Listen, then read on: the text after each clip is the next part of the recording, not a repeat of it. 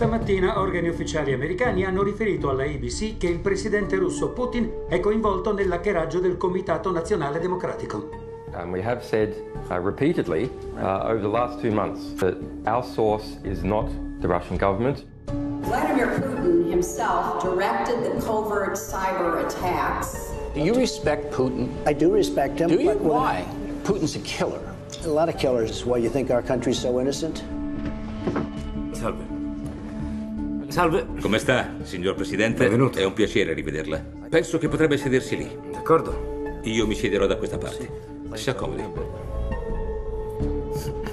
Improvviseremo tutto. Non ci sono regole. Bene.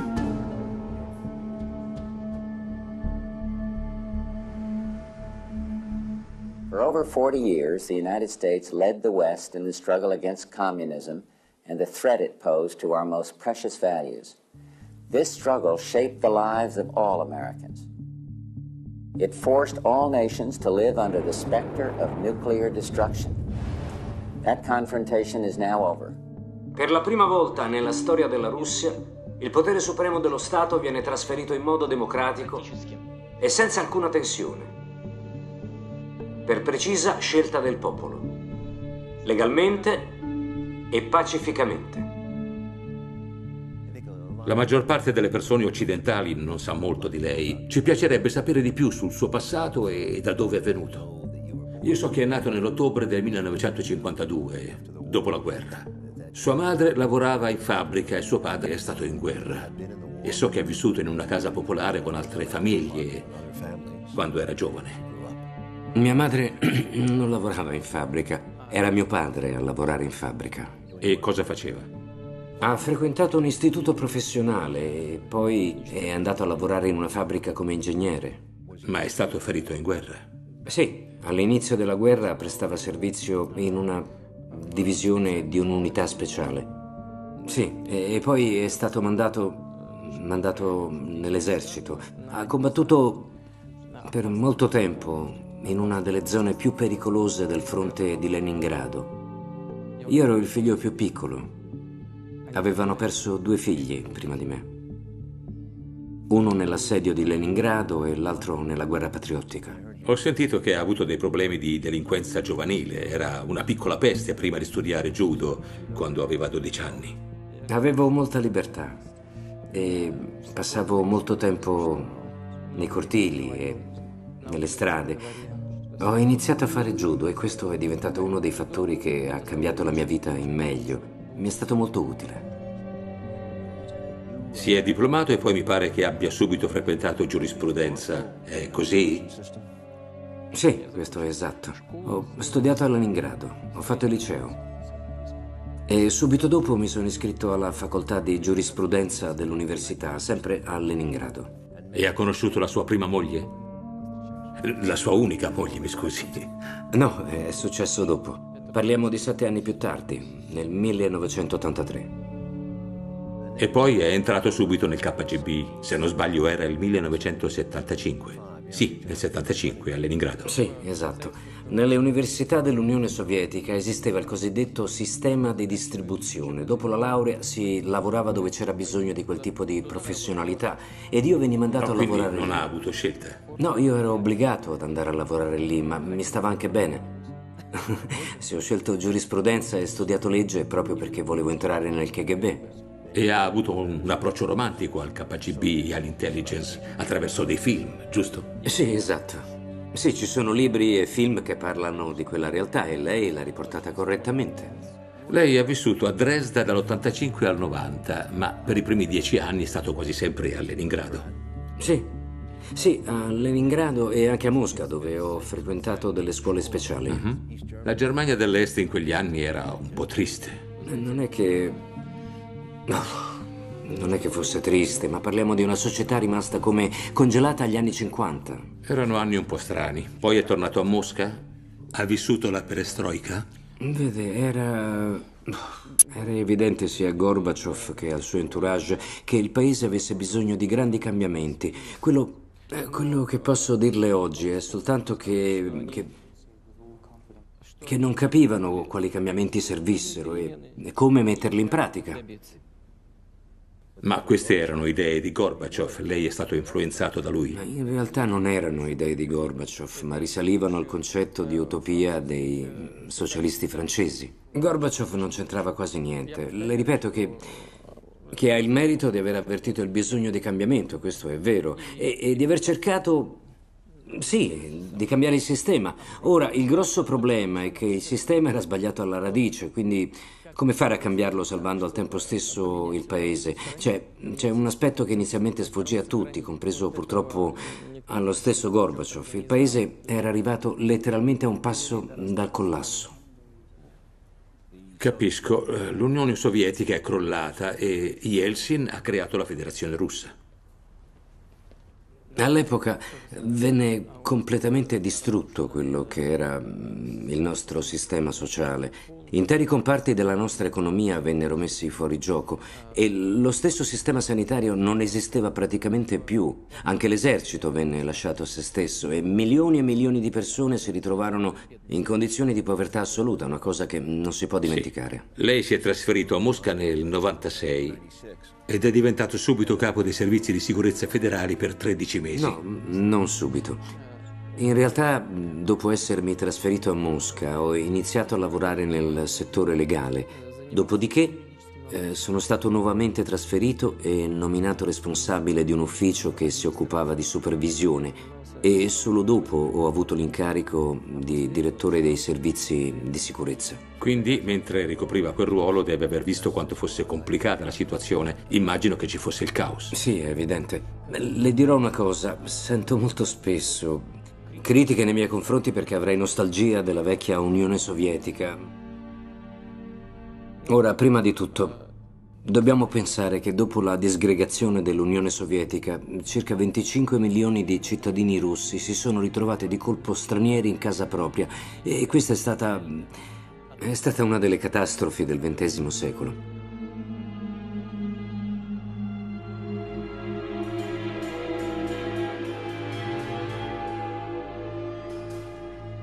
La gente era abituata a vivere in un solo grande paese.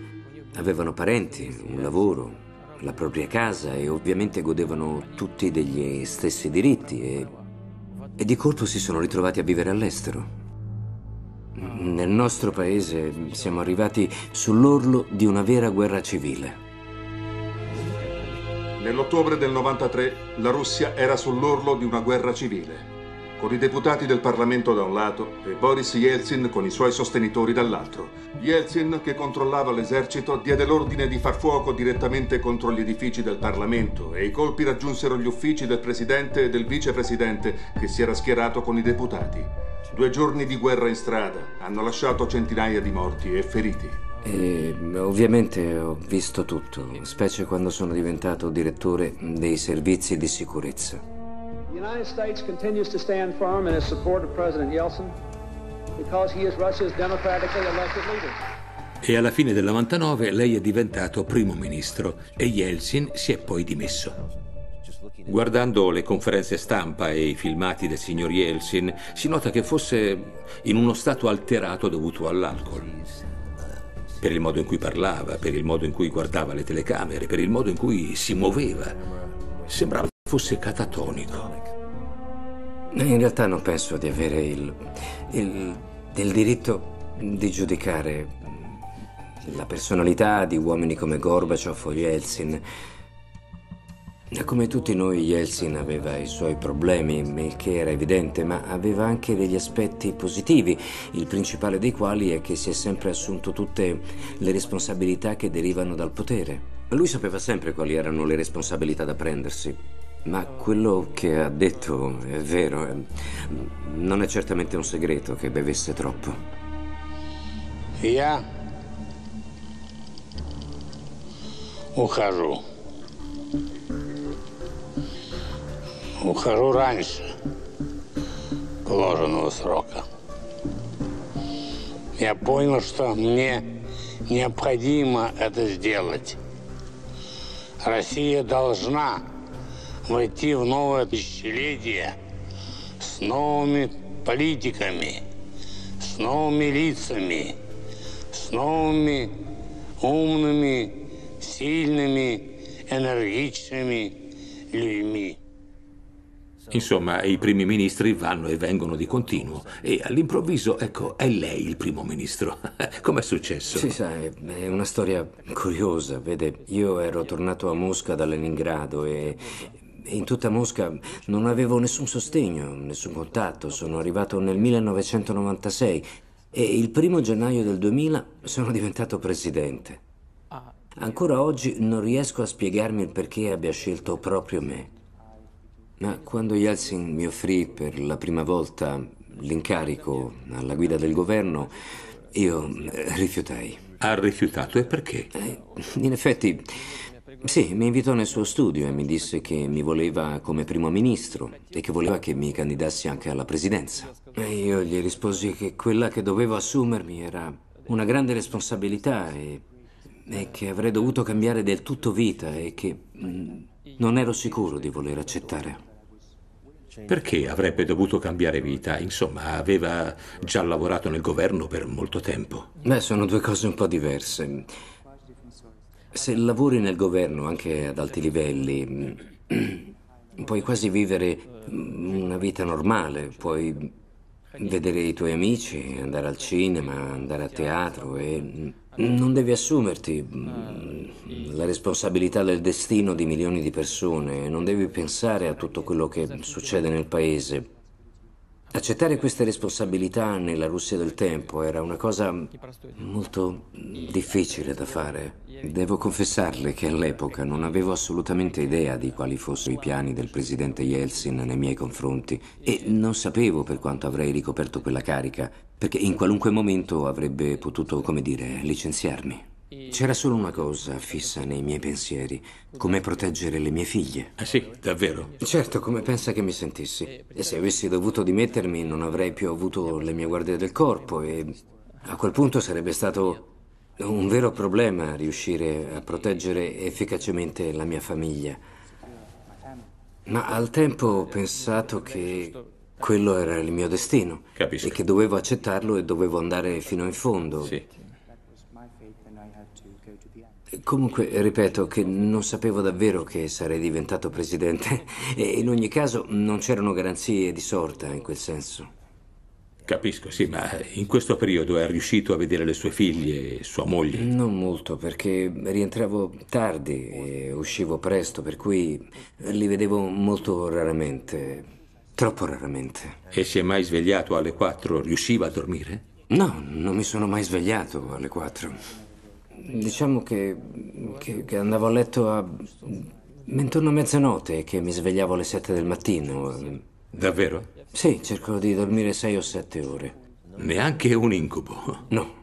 Questa è la disciplina militare? Dalla sua esperienza con il KGB? No, è un'abitudine che mi deriva dallo sport e mm, certo anche dal servizio militare. Dicono che lei basi la sua filosofia di vita sui principi del judo. Sì, sì, l'idea è quella. Eh, è molto impegnativa. Bisogna, bisogna, essere flessibili e sfruttare le debolezze dell'avversario, ma la flessibilità è centrale. È quella che può portarti alla vittoria anche partendo da posizioni almeno apparentemente più deboli. Possiede molta disciplina. Senza disciplina sarebbe difficile affrontare i grandi problemi di oggi. Certe tematiche sono, sono molto complesse anche dal punto di vista strategico. Bisogna essere sempre in forma. E poi arriva il 2000 e lei diventa presidente. Ha ricevuto il 53% dei voti. Non ci si aspettava che rimanesse in carica durante un momento così brutto per il paese. C'era la guerra in Cecenia, era terribile. Sì, è vero. Inoltre la seconda guerra cecena è iniziata nell'agosto del 1999 ed è stata una cosa terribile per il nostro paese. Ho dovuto assumermi le mie responsabilità e affrontare la situazione. Quello è stato davvero un periodo molto difficile da gestire. One side says that it is fighting against terrorism, the other side says it is fighting for independence. And all the while bodies line the street amid the rubble of war. This is not the Middle East. This is the breakaway Russian Republic of Chechnya, little mentioned, but no less horrifying. Secondo la tradizione russa, e come segno di rispetto verso la sacra terra del Dagestan di cui siamo ospiti, vorrei alzare il bicchiere e bere in memoria di tutti i caduti. No, ancora un secondo. Per questo vorrei proporre di brindare in onore di tutti i nostri morti. Solo dopo che sarà terminato il lavoro che siete stati chiamati a svolgere qui per arrivare alla pace. Durante il suo primo mandato ha fatto molte cose positive. Ha fatto costruire industrie di ingegneria elettronica, di petrolchimica, molte cose buone per l'agricoltura. Ha fatto aumentare il PIL, ha fatto aumentare le entrate, ha riformato l'esercito, ha messo fine alla guerra in Cecenia, ha fermato la privatizzazione. Un vero figlio della Russia. Non è proprio così. Eh, non ho fermato le privatizzazioni. Ho solo preteso che fossero condotte in modo... Ho voluto evitare che si...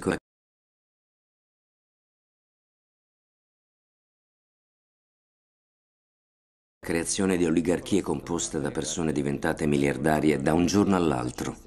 Abbiamo portato ad un arricchimento di poche persone e a una situazione in cui il governo o perdeva il controllo di industrie strategiche o ne avrebbe visto la distruzione. Il mio obiettivo non era certo quello di bloccare le privatizzazioni, ma di creare un sistema più, più giusto ed equo per la collettività.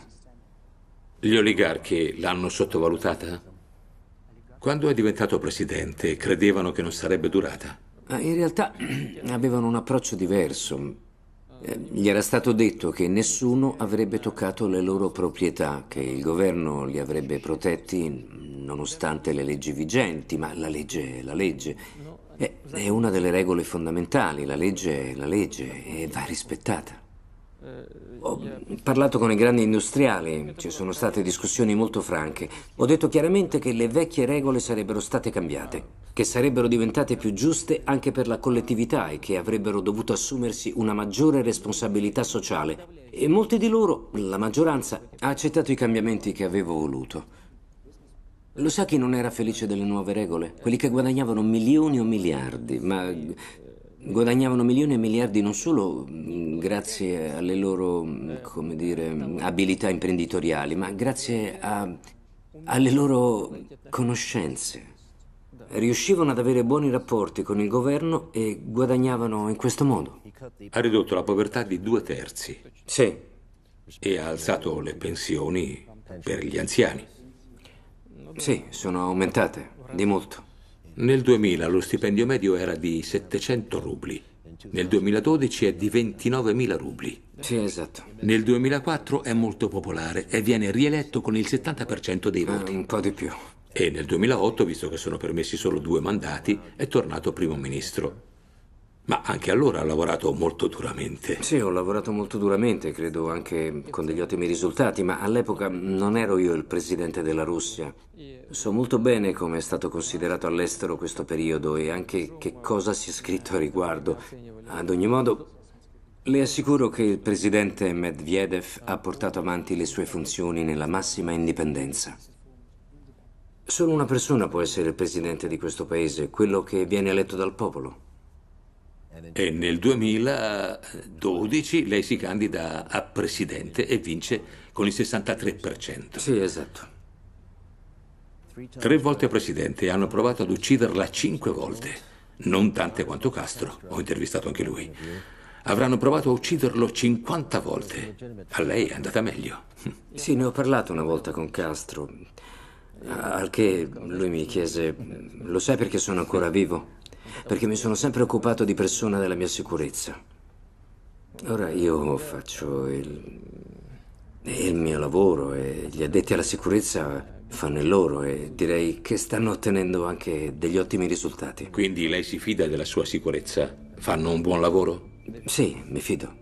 Perché il primo modo per tentare un assassinio è quello di infiltrarsi tra le guardie di sicurezza del presidente.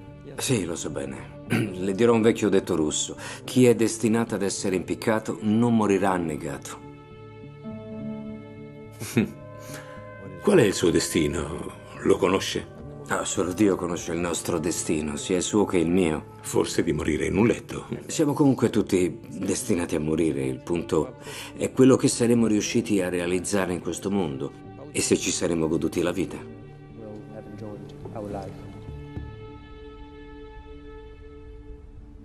Ha avuto una giornata pesante. È passato molto tempo. È un piacere rivederla.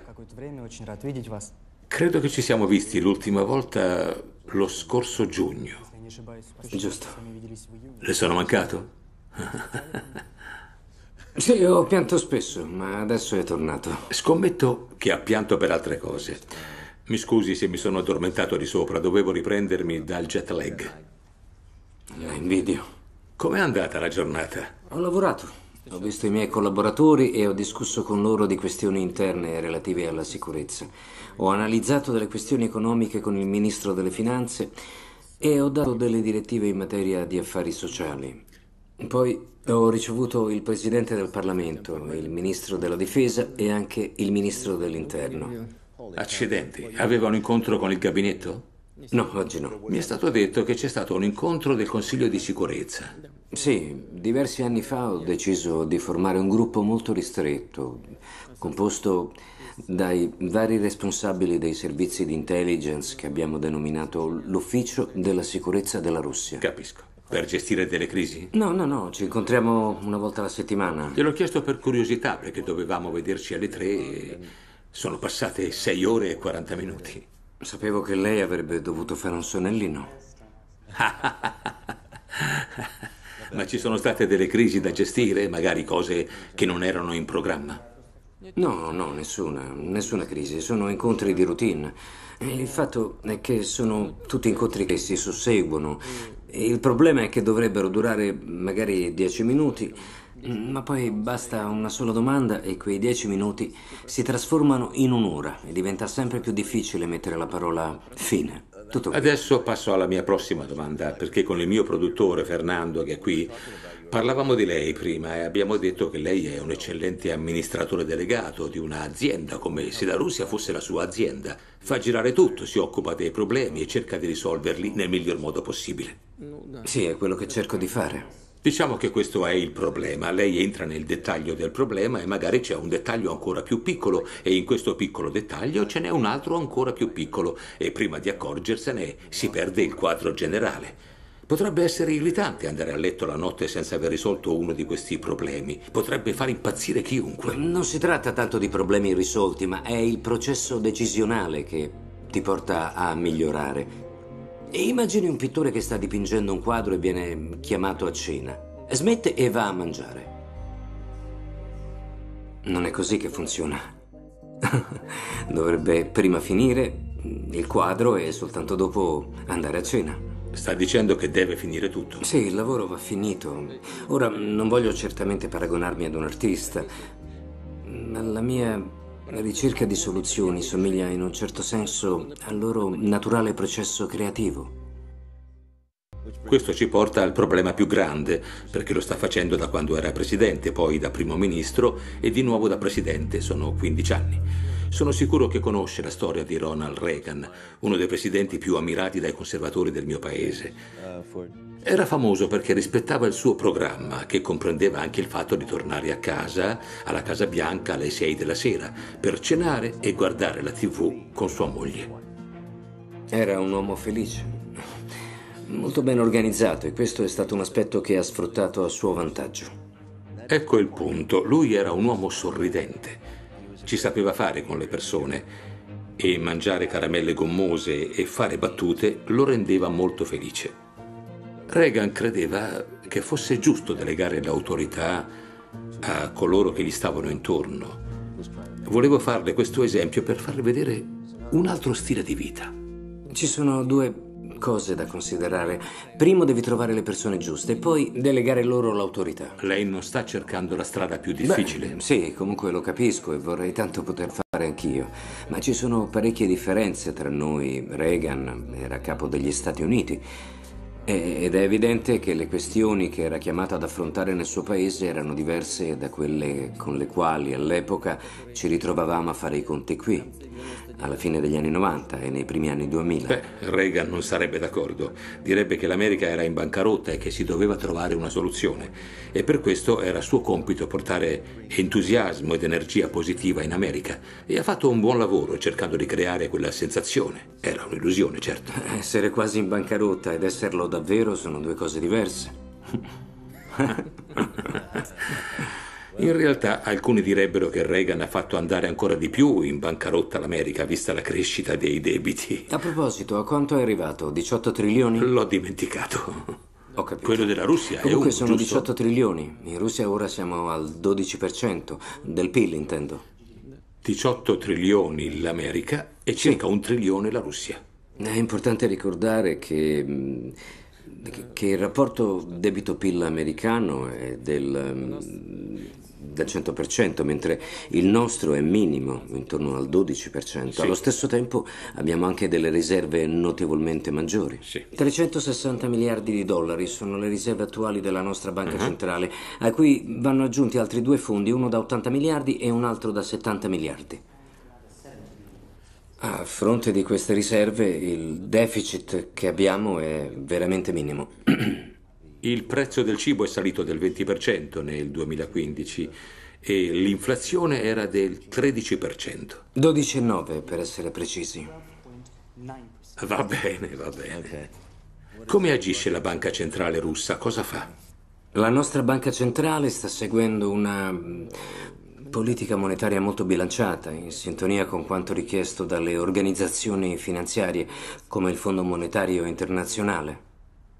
Mi hanno detto che non ci sono problemi, che non avete debiti con l'FMI. Nessun debito. In questo momento non sto parlando del nostro debito. In questo senso la Russia non ha soltanto ripagato il suo debito all'FMI, ma anche quello di, di tutte le ex repubbliche sovietiche. Anche quello dell'Ucraina, e parliamo di 16 miliardi di dollari. Io parlavo di politica monetaria, per cui siamo in stretto contatto con la signora Lagarde e con i nostri colleghi del Fondo Monetario Internazionale. Li informiamo di quello che facciamo, seguiamo le loro indicazioni e so che la direzione dell'FMI ha grande considerazione per l'azione della Banca Centrale russa. Abbiamo solo valutazioni positive. Sa, lei parla ancora come se l'FMI fosse un partner della Russia. Vi comportate come se Wall Street volesse il fallimento della Russia e io dubito che sia così.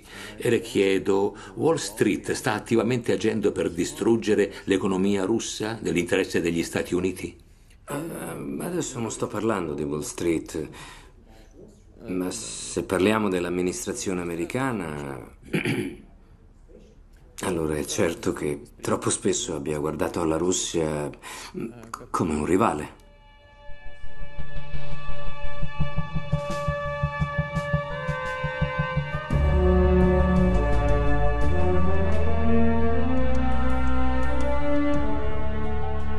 Questa è la sala del trono. Quello è il trono dello zar, quello è il trono della zarina Sì.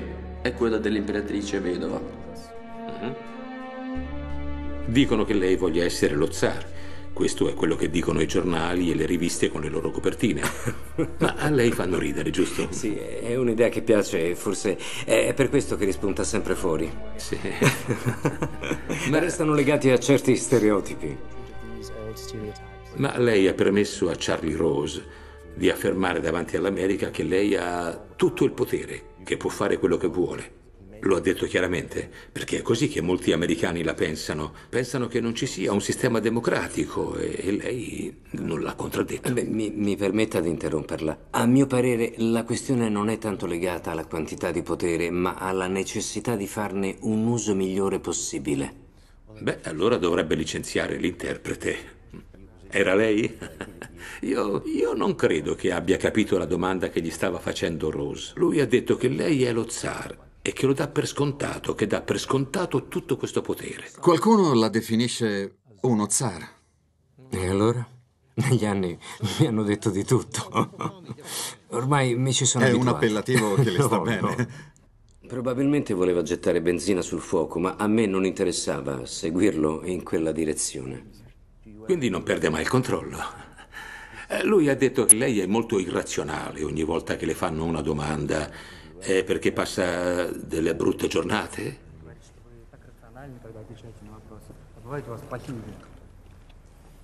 Eh, Dico bene? non sono una donna e non ho di quei giorni. Ah, ecco, adesso offenderà il 50% del pubblico americano. La prenderanno male. Non, non voglio insultare nessuno, ma è nella natura delle cose. Ah, sì, lo so. Quindi le donne per lei di solito sono più emotive. Non vuole che le emozioni possano offuscare il suo giudizio. Ci sono dei cicli naturali in cui forse anche gli uomini hanno dei problemi, ma probabilmente sono meno evidenti.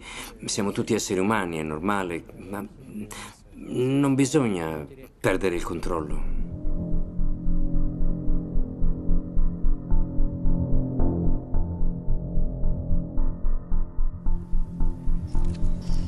Question to um, President Bush Is this a man that Americans can trust? Uh, I- I'll answer the question. I looked the man in the eye. I found him to be very straightforward and trustworthy. Uh, we had a very good dialogue. I was able to um, get a sense of his soul. Che cosa ha provato in quel momento? Ecco, lo ritenni una persona con la quale era possibile raggiungere un accordo, o almeno lo speravo. L'11 settembre lei è stato uno dei primi a chiamarlo per fargli le condoglianze e per collaborare. Sì, avevamo in programma per il giorno seguente un'esercitazione delle nostre forze nucleari e l'ho chiamato per dirgli di persona che avevamo deciso di annullarle. So benissimo come in certi momenti anche un governo o un capo di Stato abbia bisogno dell'appoggio morale da parte degli altri paesi e volevamo dimostrargli tutta la nostra vicinanza. E quando il presidente Bush ha invaso l'Afghanistan, lei ha collaborato con l'invasione e ha creato delle basi nel Caucaso e in quella zona per permettere agli americani di rifornire le truppe in Afghanistan. Non è esattamente così. Va bene. Non abbiamo specificatamente stabilito nessuna base a questo scopo, ma ormai da moltissimi anni abbiamo una divisione nel Tagikistan con una propria base per proteggerci da eventuali infiltrazioni terroristiche provenienti proprio dall'Afghanistan. E abbiamo offerto questa base agli Stati Uniti perché potessero rifornire le loro truppe. E avete continuato a farlo anche di recente. Sì, certo. Pensavamo fosse nell'interesse nazionale offrire quella collaborazione. Si tratta di un campo in cui potremo far lavorare meglio le nostre forze e abbiamo fornito importanti informazioni, specie dal punto di vista dell'intelligence che avevamo raccolto sul campo. La Russia ha sempre avuto molte informazioni riguardo all'Afghanistan. Perché non avete capito dove si nascondeva Bin Laden e che cosa stava facendo veramente? E non avete capito quanto fosse debole in quel periodo la base di Al-Qaeda in Afghanistan? Al-Qaeda non è il risultato di nostre attività sul campo, quanto quello dei nostri amici americani. Iniziò tutto durante la guerra che abbiamo combattuto in Afghanistan. Quando gli uomini dell'intelligence americana iniziarono ad appoggiare in modi diversi il fondamentalismo islamico, aiutandoli così a combattere le truppe dell'Unione Sovietica. Gli americani hanno permesso l'affermazione di Al-Qaeda e di Bin Laden, che sono poi sfuggiti al loro controllo. I nostri amici americani avrebbero dovuto saperlo, è colpa loro e di nessun altro. Infatti, Bill Casey, il direttore della CIA sotto Ronald Reagan, ha fatto molto per animare i musulmani della zona del Caucaso e dell'Asia centrale contro l'Unione Sovietica. Il suo piano andava oltre la sconfitta della Russia in Afghanistan. In pratica quello che volevano era chiaramente un cambio di regime nell'Unione Sovietica. Vede, almeno per alcuni quegli ideali sono sicuramente ancora vivi. E quando sono emersi dei problemi in Cecenia o nel Caucaso, gli Stati Uniti hanno fatto in modo che si ingigantissero. Noi pensavamo che la guerra fredda fosse terminata e che i nostri rapporti con l'Europa e gli Stati Uniti fossero diventati trasparenti. E contavamo sul loro appoggio. E invece l'intelligence americana appoggiò ufficialmente i terroristi. Ora vorrei dire una cosa che ritengo molto importante. All'epoca noi nutrivamo grande fiducia in quel periodo nella volontà di cooperare espressa dagli americani nelle forme e nei campi più diversi, tra i quali anche la lotta al terrorismo. ma loro utilizzarono proprio i terroristi per cercare di destabilizzarci internamente.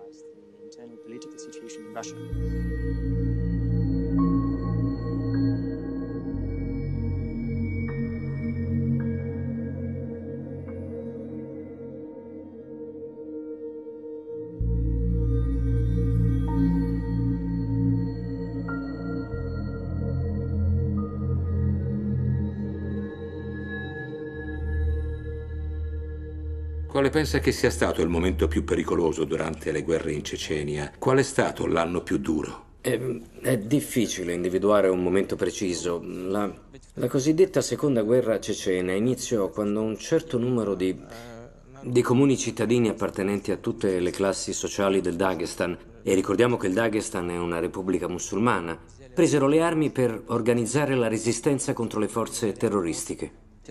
Ricordo molto bene quei giorni, ricordo che il Dagestan non soltanto ci chiese aiuto, ma ci supplicò di intervenire o almeno di metterli in condizioni di difendersi da soli. C'era un sostegno segreto americano? Lei ha detto di avere le prove che l'America supportasse i ceceni. Sì, è vero. E comunque il ruolo svolto dai loro media e l'appoggio politico era così evidente da rendere superflua qualunque prova.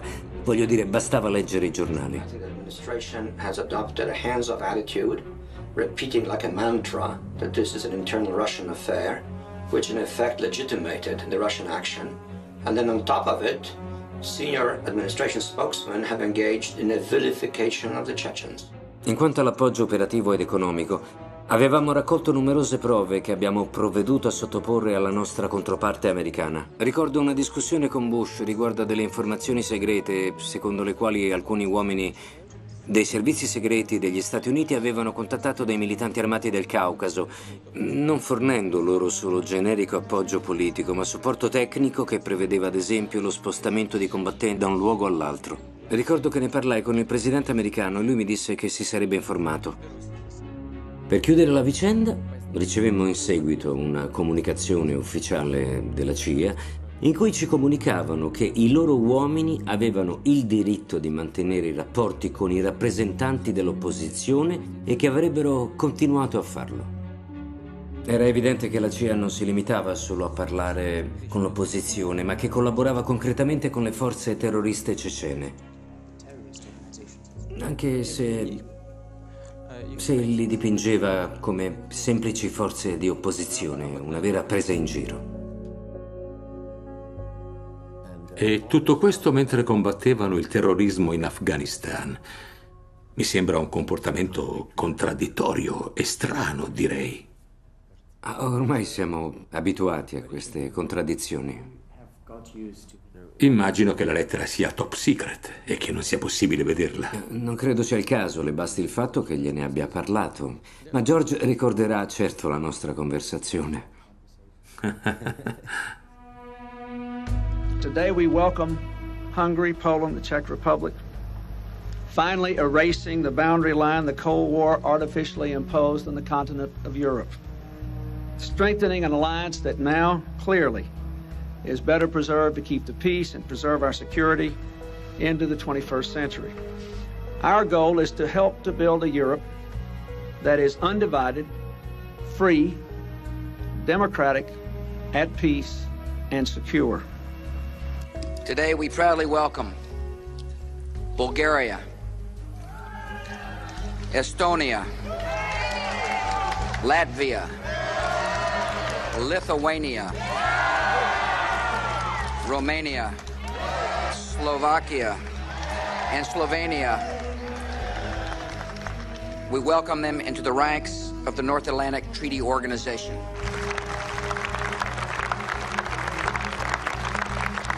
This is a special moment in the hopeful story of human liberty.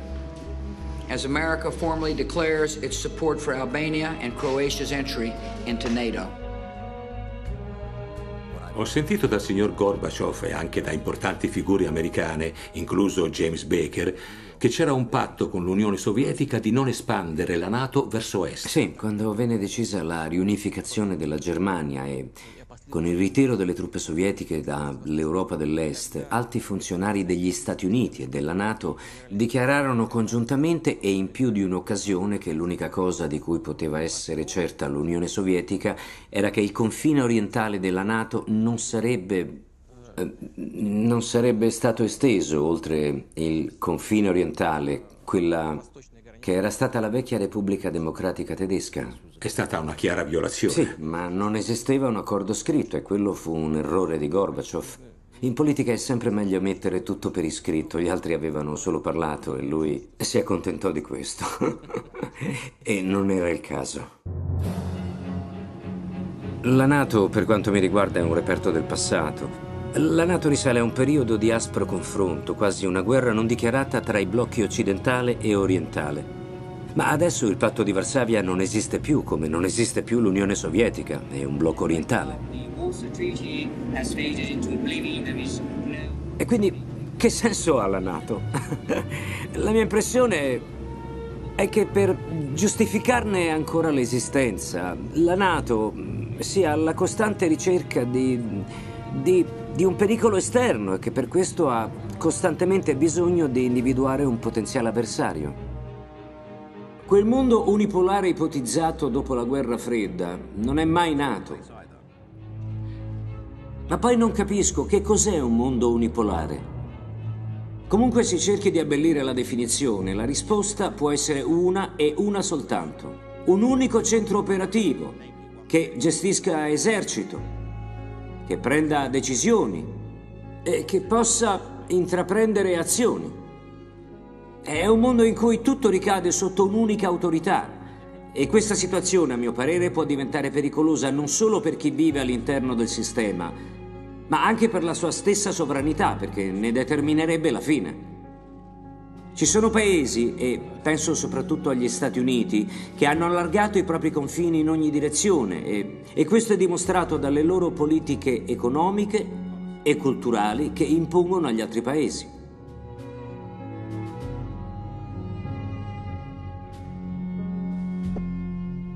Attualmente la Nato è uno strumento della politica estera americana, non ci sono alleati, ci sono solo dei vassalli. Una volta che si entra nella Nato, diventa molto difficile resistere alle pressioni degli Stati Uniti che potrebbero portarvi ad ospitare qualunque sistema d'arma entro i propri confini. Parliamo di sistemi antimissili balistici, nuove basi militari e se serve anche nuovi sistemi offensivi. E noi cosa dovremmo fare? È evidente la necessità di contromisure, quindi ecco spiegati i nostri nuovi sistemi missilistici, messi a protezione dei nostri interessi nazionali. E via così con l'escalation. Ora, lo sa perché abbiamo deciso di rispondere all'espansione della Nato? Principalmente perché ci siamo resi conto della minaccia che sta rappresentando questa organizzazione sotto un'apparente nuova veste. Quello che ci preoccupa di più è, è, è il processo decisionale al suo interno. E io so bene come avviene. Ricordo che in uno dei miei ultimi incontri a Mosca con il presidente Clinton, che era alla fine del suo secondo mandato, gli dissi che non escludevo la possibilità che la Russia potesse decidere un giorno di entrare nella Nato. E lui mi rispose, perché no? Tra le facce preoccupate del suo staff. Glielo avete chiesto? Ora le spiego il nervosismo della sua delegazione alla mia idea. In caso di adesione avremmo naturalmente avuto anche noi voce in capitolo. Avremmo sempre potuto dire la nostra e non avremmo permesso che l'America ci manipolasse. Ma i nostri amici americani non l'avrebbero mai accettato. Sotto il comando della Nato dovreste condividere tutte le vostre informazioni sul nucleare. La nostra apertura verso i nuovi partner era ovviamente allargata anche verso gli Stati Uniti e dopo la fine dell'Unione Sovietica e il cambio del nostro sistema politico eravamo disposti a condividere anche i nostri più importanti segreti nucleari. Non avremmo avuto più segreti. Sì, certo. Avevamo supervisori americani nelle nostre fabbriche, proprio lì dove venivano prodotte le nostre armi nucleari costantemente. Vede, eravamo abbastanza aperti. Sì. E, e non c'era nessuna minaccia aggiuntiva verso di noi. Certo.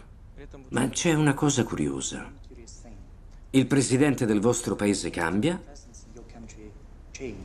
ma la politica non cambia. È una questione di principio. In passato i sovietici erano molto realisti riguardo alla politica americana e hanno sempre cercato di comprendere le intenzioni degli americani. Non so se questo sia ancora vero, immagino di sì, perché il presidente fa delle affermazioni molto precise riguardo alle intenzioni degli Stati Uniti.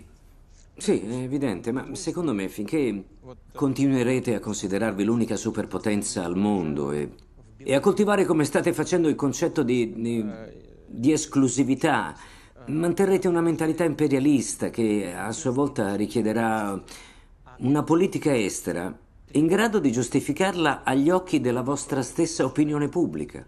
Di conseguenza, anche i vostri leader saranno obbligati a seguire questa logica, eh, che è poi contraria anche agli interessi del popolo americano, perché porta a problemi sempre nuovi e a deficienze del sistema. Se non si può avere il controllo assoluto, è una politica che non può condurre da nessuna parte. Gli americani hanno mai smesso? Hanno mai smesso di pensare che la Russia fosse un nemico? Una volta per il comunismo, una volta per il putinismo. C'è sempre stata l'idea che voi foste dei nemici. Dopo la seconda guerra mondiale era emerso un sistema bipolare in cui gli schieramenti erano molto ben delineati, ma francamente l'azione dell'Unione Sovietica dell'epoca fu quanto mai approssimativa, primitiva, e questo offrì agli Stati Uniti la scusa per creare un organismo come la Nato e scatenare così la guerra fredda. Ritengo che allora l'America si sentisse all'avanguardia del cosiddetto mondo civilizzato e quando c'è stato il crollo dell'Unione Sovietica devono aver pensato che gli Stati Uniti potessero fare praticamente quello che volevano e farlo impunemente. Ma c'è sempre il grosso rischio che in questa situazione una persona o un paese possa commettere degli errori, perché non si sente più il bisogno di analizzare la situazione o pensare ad eventuali conseguenze. Così il paese diventa inefficiente e gli errori iniziano a susseguirsi. Ecco la trappola in cui sono caduti gli americani. Questo fa nascere una domanda più grande. Qual è la politica degli Stati Uniti? Qual è la sua strategia nel mondo, in tutto il mondo? Risponderò sinceramente e con tutti i particolari del caso a questa sua domanda, ma soltanto quando mi sarò ritirato. Beh, io potrei dire qualcosa e lei potrebbe rispondere, si può fare? Potrei dire io penso, o in molti pensano che la strategia degli Stati Uniti in questo momento è di distruggere l'economia russa, di farla tornare ai livelli degli anni 90 e di cambiare la vostra leadership, creando un nuovo alleato per gli Stati Uniti e in pratica dominare la Russia come succedeva una volta. E forse pensano che sono stati troppo buoni e che avrebbero dovuto togliervi il vostro arsenale nucleare. Questa questa linea di pensiero e di politica è piuttosto plausibile. Se è questo il caso, allora credo che sia una politica sbagliata. Proprio perché una tale visione del rapporto con la Russia non è orientata al futuro, le persone che credono queste cose non guardano come sarà il mondo tra 25 o 50 anni. Se lo facessero, allora probabilmente andrebbero a costruire i rapporti con la Russia sotto una luce diversa e non proverebbero a fare della Russia il proprio vassallo. Capisco che la Russia non si arrenderà, vuole sostenere la sua economia fino all'ultimo. Sotto Stalin i russi hanno donato i loro gioielli, i loro beni personali e hanno dato fino all'ultimo dollaro per sostenere il governo contro i nazisti. Non si tratta dell'ultimo dollaro, ma della vita stessa. Il nostro popolo ha combattuto fino all'ultimo respiro, c'era in gioco la vita. E la componente eh, più importante della Russia è proprio il popolo russo e la, la, la sua coscienza nazionale, l'impossibilità anche soltanto di ipotizzare una vita al di fuori della sovranità nazionale. È questa convinzione e non certo la, la minaccia nucleare di una potenza straniera che dovrebbe convincervi della necessità di costruire rapporti più costruttivi con la Russia. E in quel caso non dovremmo più spendere tanto per la difesa. Dia un'occhiata. L'anno scorso, in dollari, abbiamo allocato 40 miliardi per le necessità della difesa, mentre gli Stati Uniti hanno allocato più di 460 miliardi, quindi è più di 10 volte tanto. E quest'anno, da, da quello che sappiamo, nel 2016, gli Stati Uniti allocheranno più di 600 miliardi di dollari per la difesa. Beh, è semplicemente troppo. Più della spesa totale per la difesa di tutti gli altri paesi del mondo. Ci saranno le elezioni presidenziali quest'anno e nessuna delle questioni come l'ambiente o le nostre alleanze è stata discussa neanche una volta. Tutto nella retorica delle elezioni è essere forte, essere più forte, ricostruire l'esercito. E questo vale per entrambi i lati, inclusa Hillary Clinton, che è sicuramente diventata una neoconservatrice. Ha una politica molto forte contro la Russia, era a favore dell'intervento in Siria e così via. We have to send a very clear message to Putin that this kind of belligerence, this kind of testing of boundaries will have to be responded to. Inoltre, il Pentagono ha recentemente annunciato che la Russia è la minaccia numero uno per gli Stati Uniti ed è un'affermazione abbastanza rigorosa. You want to talk about a nation that, that could pose an existential threat to the United States, I'd have to point to Russia. And if you look at their behavior, it's nothing short of alarming. Ne siamo al corrente. E di certo non ne siamo soddisfatti. Ad ogni modo, noi siamo e resteremo disponibili al colloquio praticamente in ogni campo. Per farle un esempio, noi ci rendiamo conto che la retorica è parte essenziale di ogni campagna elettorale, ma negli Stati Uniti è tornato di moda il ricorrere alla minaccia russa per, per raccogliere voti e farsi eleggere. E dopo chi vince viene a dirci non vi preoccupate. Dovete capire che qui si trattava solo di vincere le elezioni. Adesso tornerà tutto come prima. Ad ogni modo io ritengo sia, sia un grosso errore sacrificare le relazioni internazionali in nome di questioni di politica interna.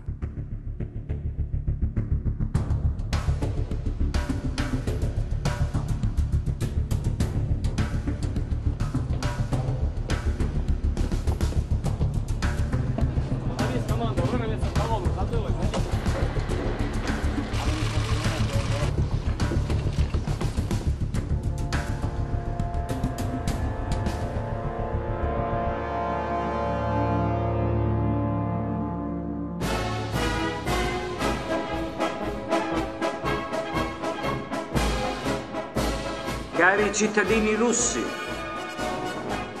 amati veterani, amati soldati e marinai, ufficiali combattenti, tenenti, generali, buona giornata della vittoria.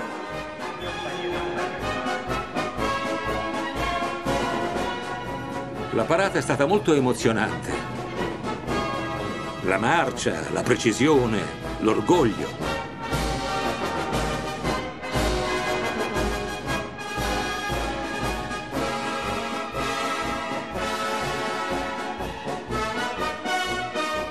Mi è piaciuto anche il contingente femminile. Bene, questa è stata la prima volta per loro. Ho visto che oggi c'era anche il signor Gorbaciov. Non è andato a salutarlo. In realtà è il protocollo ad invitarlo alle cerimonie ufficiali. Volevo dire che il presidente non si è fermato per salutarlo. Non mi ero neanche accorto che ci fosse. Non lo vede mai? Non lo incontra mai? Lo invito spesso al Cremlino e ha fatto anche parte di un Davvero? mio gabinetto di lavoro. Quindi lo vede? Sì, ma anni fa. Sì, sì, anni fa. Di certo la sostiene sulla questione della Nato. Sì, per quanto riguarda la Nato e anche per quanto riguarda la Crimea, da quello che so. Lui ha le sue opinioni, a volte la vediamo allo stesso modo, a volte no. È un peccato che non ci fosse anche l'ambasciatore americano.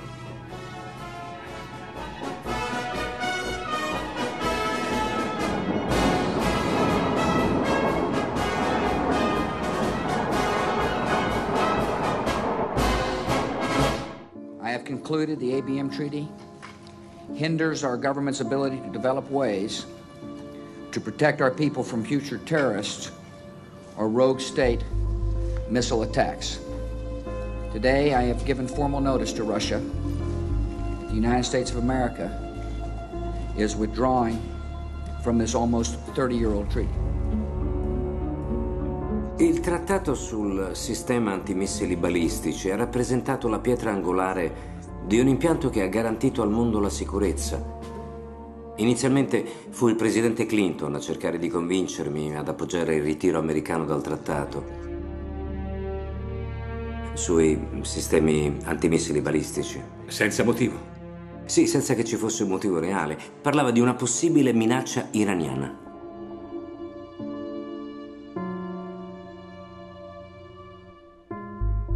Poi fu il presidente Bush a provarci di nuovo e io gli proposi di lavorare insieme allo sviluppo di un nuovo sistema antimissili balistici.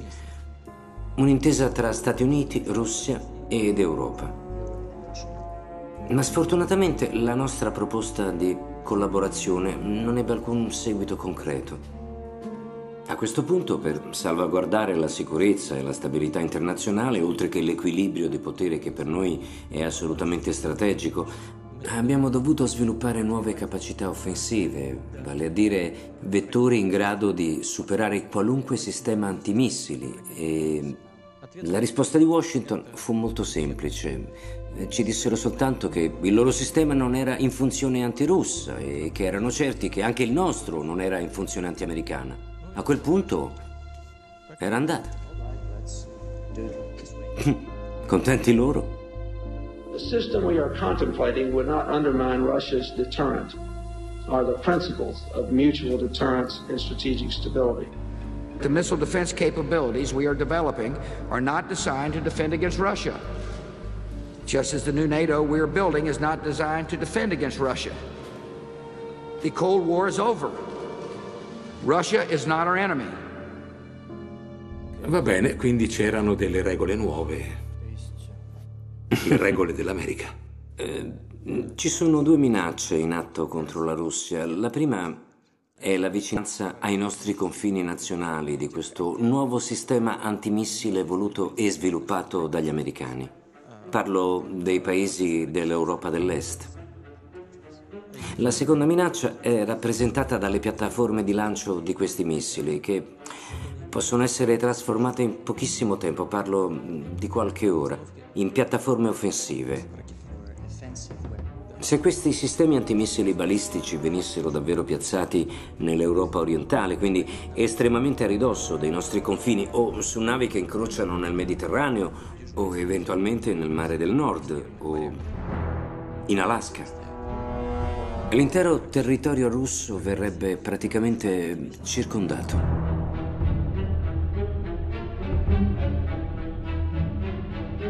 Come comprenderà, si tratterebbe di un altro grande errore strategico commesso dai nostri partner, perché vede, tutte queste azioni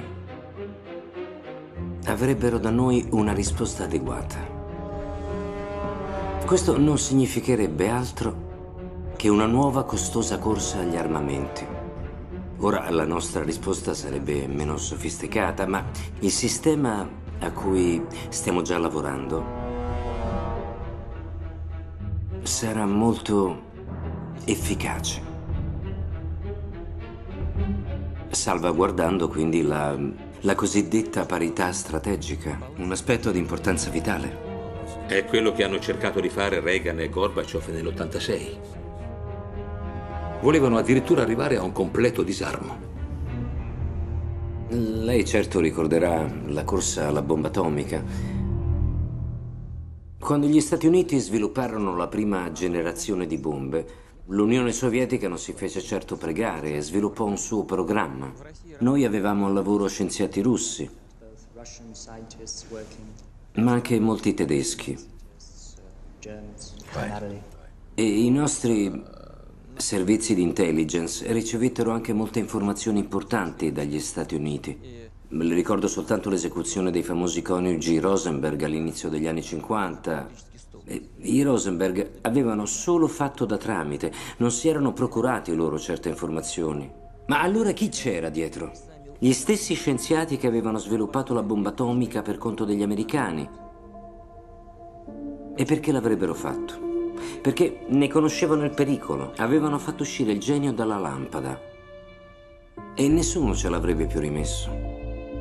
Ora quel gruppo di scienziati di tutto il mondo dimostrò più intelligenza di gran parte dei politici, fornendo all'Unione Sovietica le informazioni necessarie a riportare in pari il cosiddetto equilibrio del terrore. E che succede ora? Vogliono ricominciare da capo? Questo sarebbe un grave errore. Allora la smetta di chiamarli amici. Spesso li ha chiamati i nostri amici. Ma il dialogo non si può abbandonare. Dovrebbe augurarmi un felice 4 luglio, visto che sono americano. Ah, certo, allora auguri. È il nostro giorno dell'indipendenza. Sì, lo so. Lo so bene. Allora, se dovesse esserci una guerra, l'America dominerebbe? Sì o no? No. No. Sarebbe la Russia, quindi a sopravvivere. Non sopravviverebbe nessuno.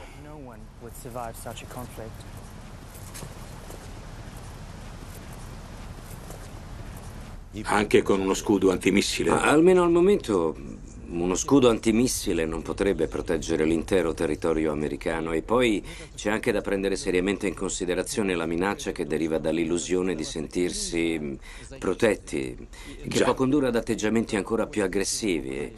Ecco perché è così importante prevenire azioni unilaterali e perché in passato abbiamo proposto lo sviluppo congiunto di un sistema antimissile. Inizialmente fu proposto da John Kennedy insieme a Nikita Khrushchev nel 63. Vede, se vogliamo cominciare a parlare del passato, vorrei ricordarle come è iniziata davvero la cosiddetta crisi dei missili.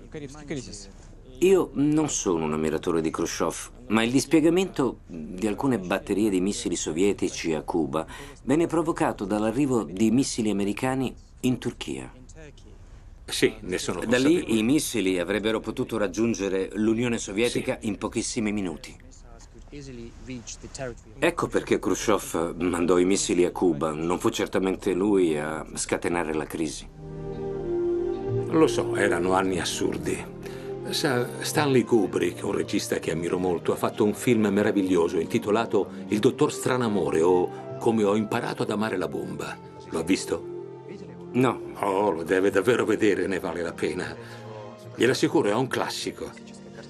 Il signor Kennedy doveva gestire un sistema militare che era cresciuto sempre di più dalla seconda guerra mondiale e i generali a quel punto sapevano che l'Unione Sovietica non aveva la capacità di competere con l'America e molti di loro credevano che quello fosse il momento di colpire. Avevano intenzione di attaccare la Russia. Kennedy credeva che fossero pazzi, ma siccome ci sono stati degli sviluppi a Berlino e a Cuba, la situazione si è fatta più pericolosa.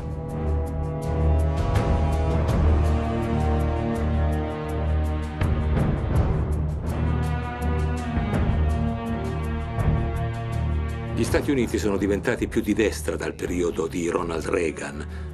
Adesso a sinistra, o quella che si può definire sinistra, c'è Hillary Clinton, uno dei candidati democratici, che sta facendo delle affermazioni molto aggressive riguardo all'Ucraina e compara il signor Putin a Hitler. Se vi sembra familiare, è perché è la stessa cosa che ha fatto Hitler negli anni 30. Diceva che i cittadini di origine tedesca che si trovavano in Cecoslovacchia, in Romania e in altri posti non venivano trattati bene. Voleva andare a proteggere il suo popolo ed ecco perché la situazione era così tesa. Ah, Per noi non è certo una novità.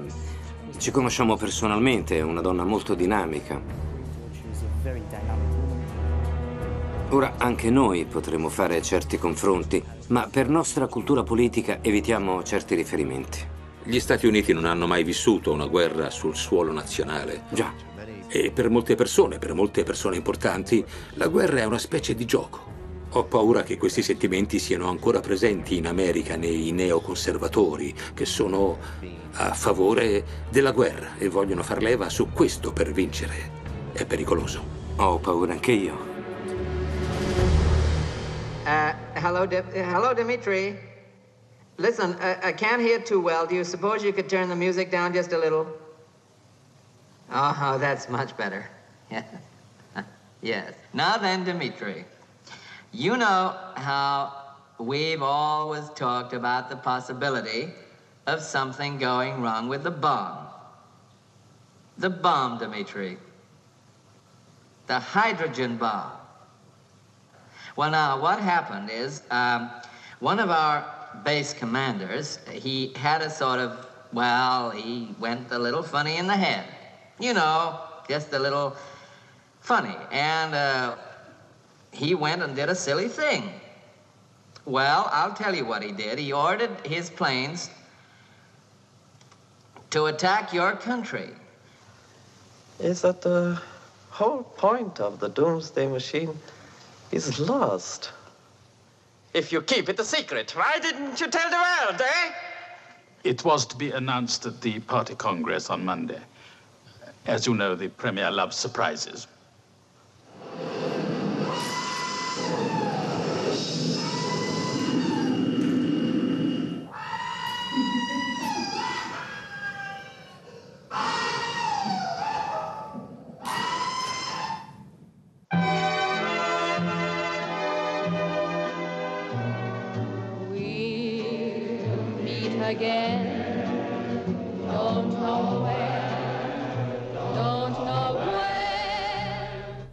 Molte di queste immagini al tempo erano inedite e sono state mostrate in questo film. Grazie per avermi accontentato. Penso che Dimitri, il premier russo, fosse molto bravo. Ci sono alcuni aspetti di questo film che, che ci dovrebbero far pensare, nonostante sia una divertente ricostruzione. Presenta dei motivi di preoccupazione che definirei senz'altro molto seri. Questa è una minaccia che esiste realmente. Non sono affatto situazioni basate sul nulla. Se ne è parlato di guerra nucleare e della fine del mondo. Gli scienziati che hanno lavorato alla bomba ne hanno discusso con il presidente e hanno detto che Truman ha agito comunque. Il fatto è che da allora non, non è cambiato quasi niente. L'unica differenza è che, che i moderni sistemi d'arma sono diventati più sofisticati, ma l'idea di un'arma finale e l'impossibilità di, di controllare efficacemente questo genere di armi è un problema sicuramente esistente ancora oggi, anzi è diventato ancora più grave. Ha ragione. Mhm. Per È lei. molto gentile. Bene. Ma è vuoto. Ecco un tipico regalo americano, guardate. Grazie. Arrivederci.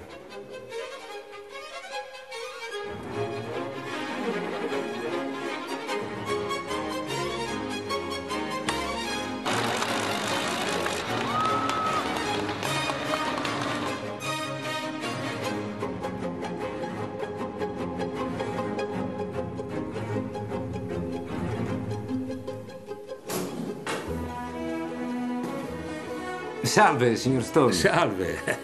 È molto colorato. Sembra un supereroe. Eh certo, quando sono sul ghiaccio sono forte Benissimo. come un supereroe. Cerco sempre di essere all'altezza. Sì, noi saremo lì a guardarla. Ha qualche Grazie. consiglio? Grazie. Ma deve fare anche il tifo per me, non limitarsi a guardarmi. Ha già detto agli altri giocatori che segnerà due gol? No, questa è una cosa mm, che non si può mai dire nello sport. Devi solo. Devi solo cercare di fare del tuo meglio e basta. Lo colpiscono duramente come gli altri? E perché non dovrebbero? Adesso vado.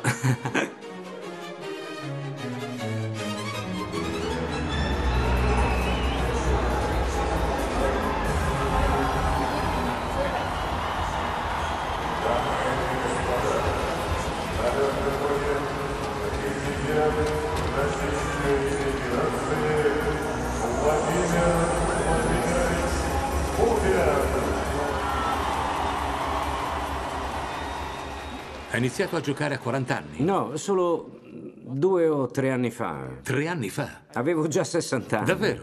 A 50 anni? No, Incredibile. 60. Ah sì, 60, scusi. Continuo a pensare che ne abbia 53, mi sbaglio sempre, scusi. Incredibile. Prima non sapevo neanche pattinare. Dico sul serio. Lo so, l'ho sentito, sì. Ho imparato da grande. eh, È sempre molto interessante imparare qualcosa di nuovo. Una volta è caduto. No, mi sembra due. Era stanco? Sì, due. Eh, In realtà sono scivolato. Le facevano male le gambe? No. Alla sua età andiamo. Eh, sì, sì, un po', sì. Se venisse colpito forte potrebbe rompersi un osso. A volte succede. Sì. Ma lo sport è anche questo. È tutta la vita che faccio sport. Non mi sono mai fatto male. Se uno dei giocatori ammettesse qui in Russia di essere gay, quale sarebbe la reazione? C'è una cosa che vorrei dirle. Qui non ci sono restrizioni e non ci sono punizioni basate sul genere o sul sesso. Inoltre, ci sono molte persone che hanno rivelato il loro orientamento sessuale non tradizionale. Abbiamo mantenuto i nostri rapporti con loro. Molti hanno raggiunto dei traguardi davvero notevoli nei campi in cui lavorano.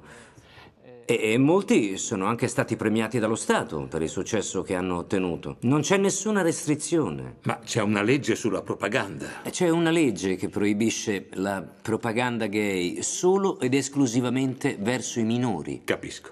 La ragione è che vogliamo che i bambini abbiano l'opportunità di crescere senza che vengano influenzati in nessun modo.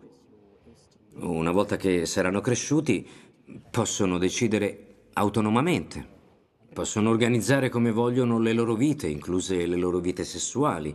E una volta che hanno compiuto 18 anni, che è l'età in cui si diventa legalmente adulti in questo paese, non hanno più nessuna restrizione. Ecco perché abbiamo questa legge.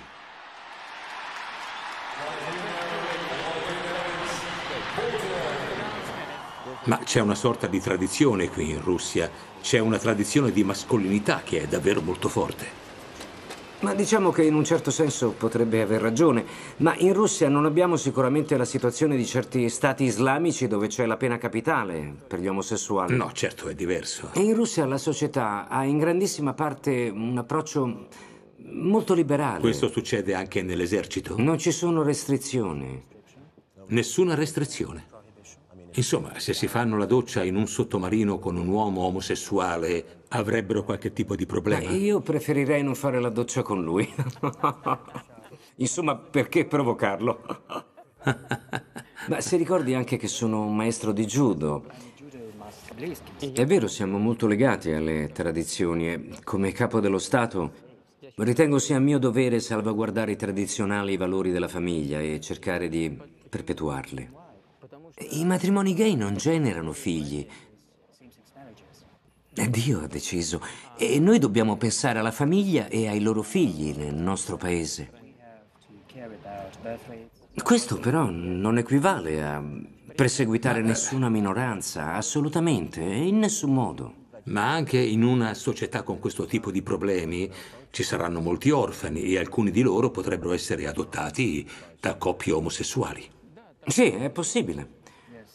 Però allo stesso tempo non posso dire che la nostra società lo accetti ben volentieri. Sarò sincero, guardi, credo che un bambino mm, avrebbe più libertà se crescesse in una famiglia tradizionale, perché non sarebbe influenzato e in questo modo avrebbe più scelta.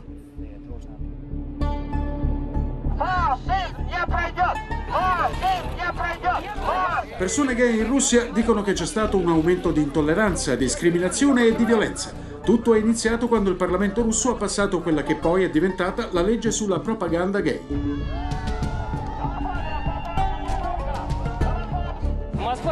Moscow is not Sodom. We are here to support normal people that want to create families. Ho sentito che si allena molto. Quante volte a settimana? Ogni giorno. Tutti i giorni, no. Sì. Ma è troppo. No, è normale. Prima nuoto e poi No, palestra. no, prima palestra e poi Certo, nuoto. sì, per rilassare i muscoli. Lei pensa quando nuota? Le vengono delle idee? Sì, non faccio altro. Si rilassa? Direbbe che è come meditare. No, è che nuotando mi vengono in mente le cose più assurde. Qui si gioca a badminton? Tennis. Questa è una statua del fondatore del judo. Il fondatore del judo? Le piace? Sì, molto. Ne sono felice. Tutta l'energia, l'aggressività, la sfoga con il judo. Sì, è quello che cerco di fare. E poi mi serve anche per scaricare l'adrenalina. Ha un allenatore? Un maestro di judo? Sì. Oh. Eh, sì, ma adesso sono io il maestro. Think I'm. Vede, in realtà gli allenatori servono a quegli atleti che vogliono competere nelle gare. Io invece lo faccio soltanto per divertimento e comunque pratico il judo da quando avevo 13 anni. L'avrà aiutato E da lì moltissimo. non ho mai smesso. Vorrei farle presenti alcune preoccupazioni che sono nate da una rivista degli affari esteri. Io la considero il punto di vista ufficiale del governo, visto che viene pubblicata dal Consiglio per le relazioni estere. Un'associazione molto potente che ha molti esperti sul campo e che scrivono della loro esperienza qui in Russia e alcuni di loro dicono di essere preoccupati. Ma qualcuno sogna e qualcuno vuole pensare questo di me. Eh, sono sogni, qualcosa che vogliono, la caduta della Russia. Questa è la loro opinione. Sono sì. solo sogni. Sì. Ma questa non è la realtà reality.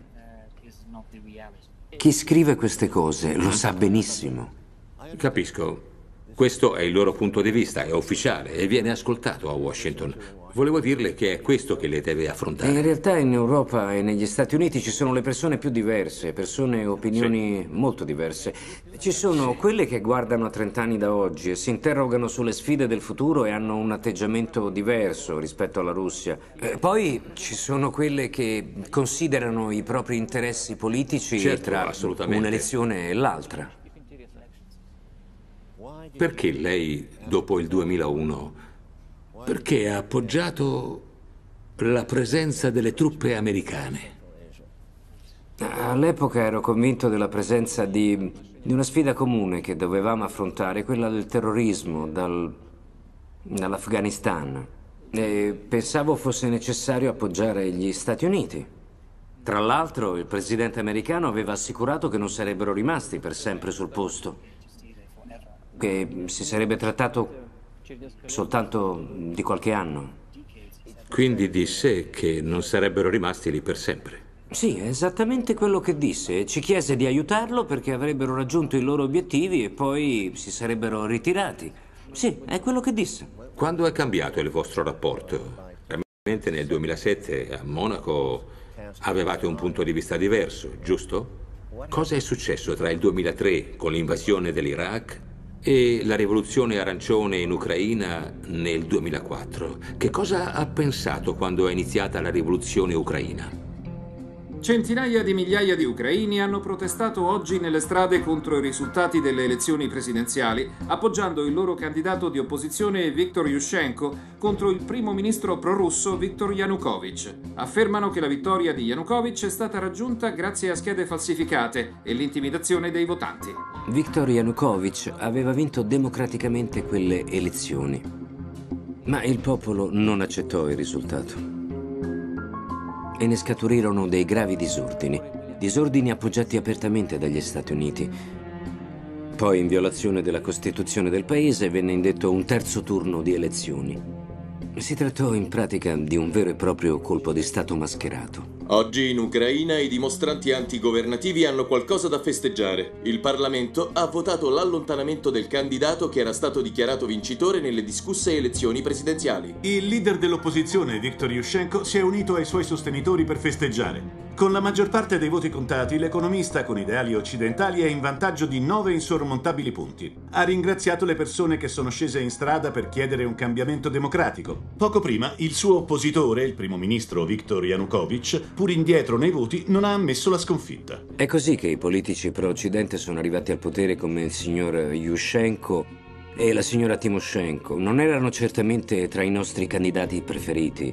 Eppure non abbiamo chiuso le porte in faccia alla nuova leadership ucraina. Io sono andata a Kiev e loro sono venuti a Mosca.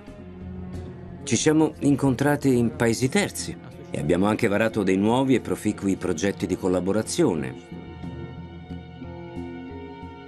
Ma la loro politica non venne accettata bene in Ucraina. Ed è per questo che alla fine del primo mandato al potere del signor Yanushchenko venne eletto alla presidenza il signor Yanukovych. La filosofia della politica estera americana in questa regione si limita al tentativo di prevenire in qualunque modo un possibile riavvicinamento dell'Ucraina alla Russia, perché è visto come una grande minaccia. Secondo alcuni un, un riavvicinamento porterebbe a un rafforzamento dell'influenza russa sul paese, per questo si tratta di un riavvicinamento che va evitato. Ora, secondo me una politica del genere non ha certo a cuore la libertà del popolo ucraino né il suo benessere, ma solo gli interessi degli Stati Uniti e dell'Europa nella regione.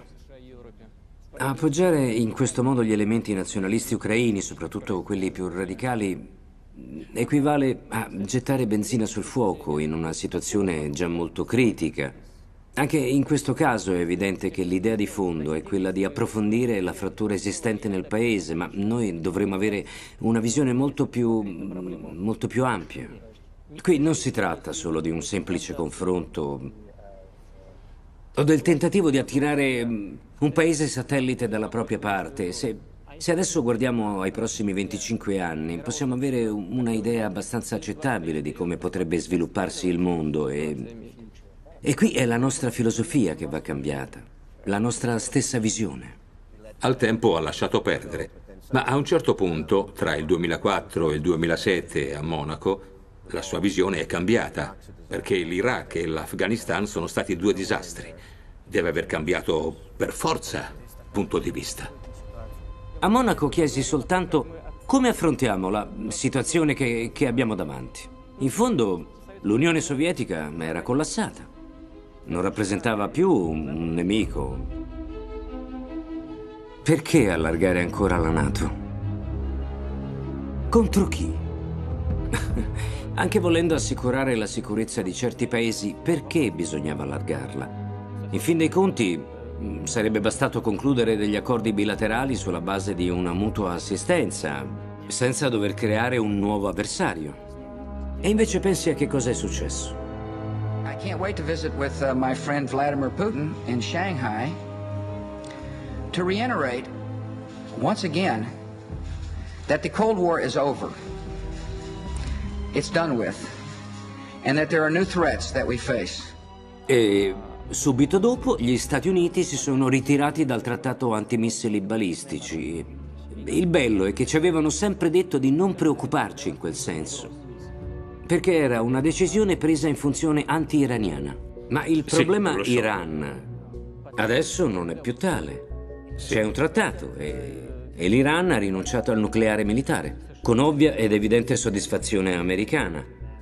Però lo sviluppo di un nuovo sistema antimissili balistici sta andando avanti e alcuni elementi sono già in Europa. Contro chi? È evidente che anche noi dovevamo fare qualcosa. Capisco. Sappiamo che Bush ha supportato l'offensiva georgiana nel 2008. Ma per noi è stata una totale sorpresa apprendere dell'appoggio del presidente Bush al presidente Saakashvili sì. e, e venire descritti come gli aggressori, una cosa del tutto falsa. Georgia is under attack from its neighbor Russia and the whole day today They've been bombing Georgia from um, numerous warplanes um, and uh, specifically targeting civilian population. The United States of America stands with the democratically elected government of Georgia. File di carri armati russi e truppe si sono riversate nell'ex Repubblica Sovietica della Georgia. La Georgia ha attaccato la Repubblica dell'Ossetia del Sud con l'obiettivo di riportarla sotto il controllo di Tbilisi. La Georgia ha ripreso gli attacchi aerei e i bombardamenti su Skin Valley, la principale città dell'Ossetia del Sud.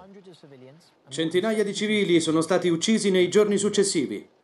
Non riuscivo a credere a ciò che ascoltavo e vedevo sulla presunta invasione russa. Tutti ci dipingevano come i responsabili. Ad ogni modo, milioni di telespettatori ci hanno creduto. Nonostante il signor Saakashvili avesse anche dichiarato pubblicamente che le sue truppe avevano iniziato l'attacco. Uh, did you take a gamble? Your government launched its own attempt to retake South Ossetia, um, No. I guess 24 No, we- hours we ago. didn't, we didn't, Was that we didn't. unwise in retrospect? We didn't. We didn't. At 24 a.m. last night, Russian APCs started to cross into Georgian territory. And there we had to act. There we had to fire back the artillery. There we had to take measures because it was a clear cut case of intervention. Crede che mh, gli Stati Uniti o la Nato in qualche modo stessero supportando Saakashvili o che gli stessero dicendo che fosse giusto provarci? Non posso certamente escludere al 100% che qualcuno non l'abbia spinto a farlo o che non l'abbia appoggiato in qualche modo. E non credo fosse così audace da tentare da solo una mossa del genere. Ad ogni modo, nessuno ha cercato di fermarlo. As you know, Putin's a straightforward, pretty tough character. When it comes to his interest, well, so am I. And, uh, you know, we've had some, some headbutts, diplomatic headbutts. Lo sa che molti americani pensano che la Russia e l'America siano entrambe in torto per quanto riguarda l'intelligence? La pensano così per via del vecchio KGB. No, eh, noi siamo meglio degli Stati Uniti perché non abbiamo tutte le loro risorse. Se le avessimo ci comporteremmo male come loro. Dice sul serio? Credete di non essere tecnologicamente avanzati? Non parlo dei soldi, parlo di Ma tecnologia. di certo gli Stati Uniti finanziano in modo massiccio i servizi segreti, cosa che noi non possiamo permetterci. Non parlo di questo. Vede, dopo la fine del periodo sovietico, con tutto il suo fardello di forte autoritarismo, i russi non nutrono più molta simpatia per i servizi segreti quando questi accumulano troppo potere. La Russia sta raccogliendo dati di comunicazione di massa di qualsiasi tipo? no, no, glielo assicuro. Sono per lo più cose ristrette. Sì, sì, è così. Stiamo parlando di raccolta, non di lettura, solo della raccolta, usando il sistema telefonico o la rete internet. No, no, in questi anni non siamo mai ricorsi a tecniche così generalizzate. Non ne avremo neppure i mezzi. Mi è stato detto che il 15% della popolazione è musulmana qui in Russia. e molti di loro sono a Mosca. Sì, esatto. E mi vuole dire che non state raccogliendo le comunicazioni dei musulmani? No, no, glielo assicuro. E eh, in quanto ai conflitti tra, sì, tra Islam, cristianesimo e giudaismo, qui non esistono. E la nostra comunità islamica è, è composta da fedeli cittadini russi che non hanno altra patria se non quella russa. Ma possiamo continuare questa conversazione un'altra volta. Sì, buonanotte, buonanotte. Presidente. Arrivederci. La moglie di Oliver. Ah, piacere di conoscerla, Molto piacere signora. di conoscerla. È la sua prima volta in Russia? Sì, è la mia prima Eh, volta in non è Russia. andata a San Pietroburgo? No, no, non ancora. Eh, deve andarci assolutamente. Va bene, grazie. Arrivederci. Arrivederci.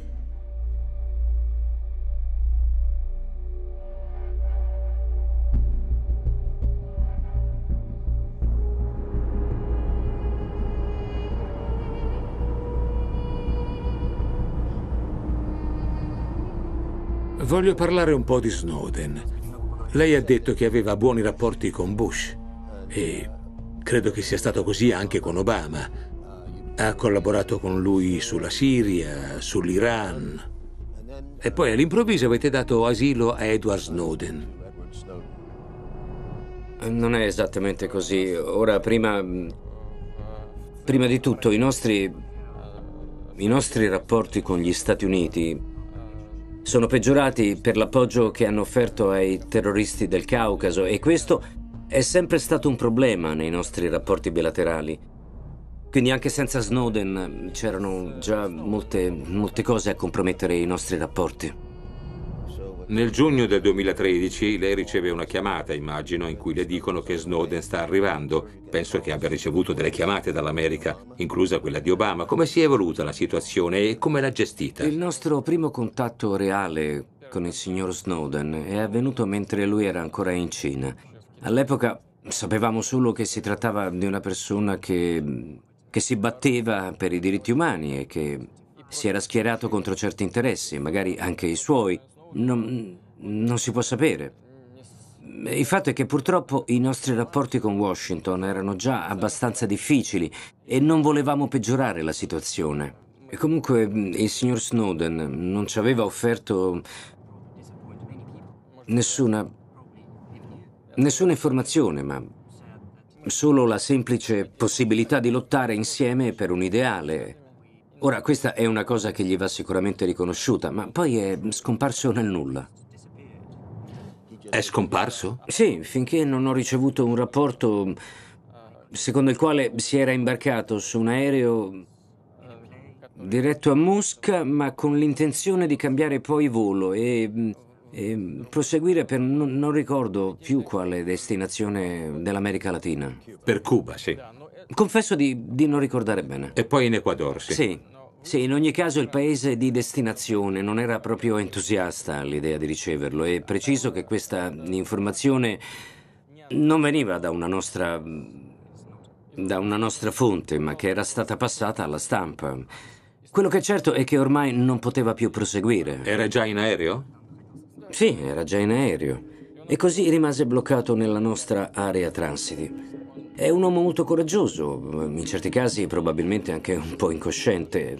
Comunque è, è rimasto per qualche tempo ospite dell'area transiti, nell'area intercontinentale, finché non gli abbiamo accordato un visto temporaneo. Ovviamente gli americani hanno subito chiesto l'estradizione e ovviamente noi l'abbiamo negata. E perché? Perché tempo fa, quando abbiamo proposto agli americani un trattato di cooperazione su eventuali contenziosi legali, una nostra iniziativa che avrebbe regolato anche l'istituto dell'estradizione, gli Stati Uniti hanno opposto un netto rifiuto su tutta la linea. Inoltre è preciso che Snowden non aveva infranto nessuna legge, nessuna legge russa. E così abbiamo rifiutato. Come del resto ha fatto Washington con alcuni criminali che hanno chiesto asilo negli Stati Uniti. Per noi era inammissibile che potessero chiedere l'estradizione di Snowden. Obama l'ha chiamata? Di questo preferirei non parlare davanti alla sua telecamera. Ascolti, sono sicuro che da ex agente KGB deve aver odiato con tutto se stesso quello che ha fatto Snowden. No, affatto. Snowden non è un traditore, non ha tradito gli interessi del suo paese e non ha rivelato nessuna informazione che potesse mettere a repentaglio la sicurezza del suo popolo. Quello che fa Snowden lo fa pubblicamente. Va bene.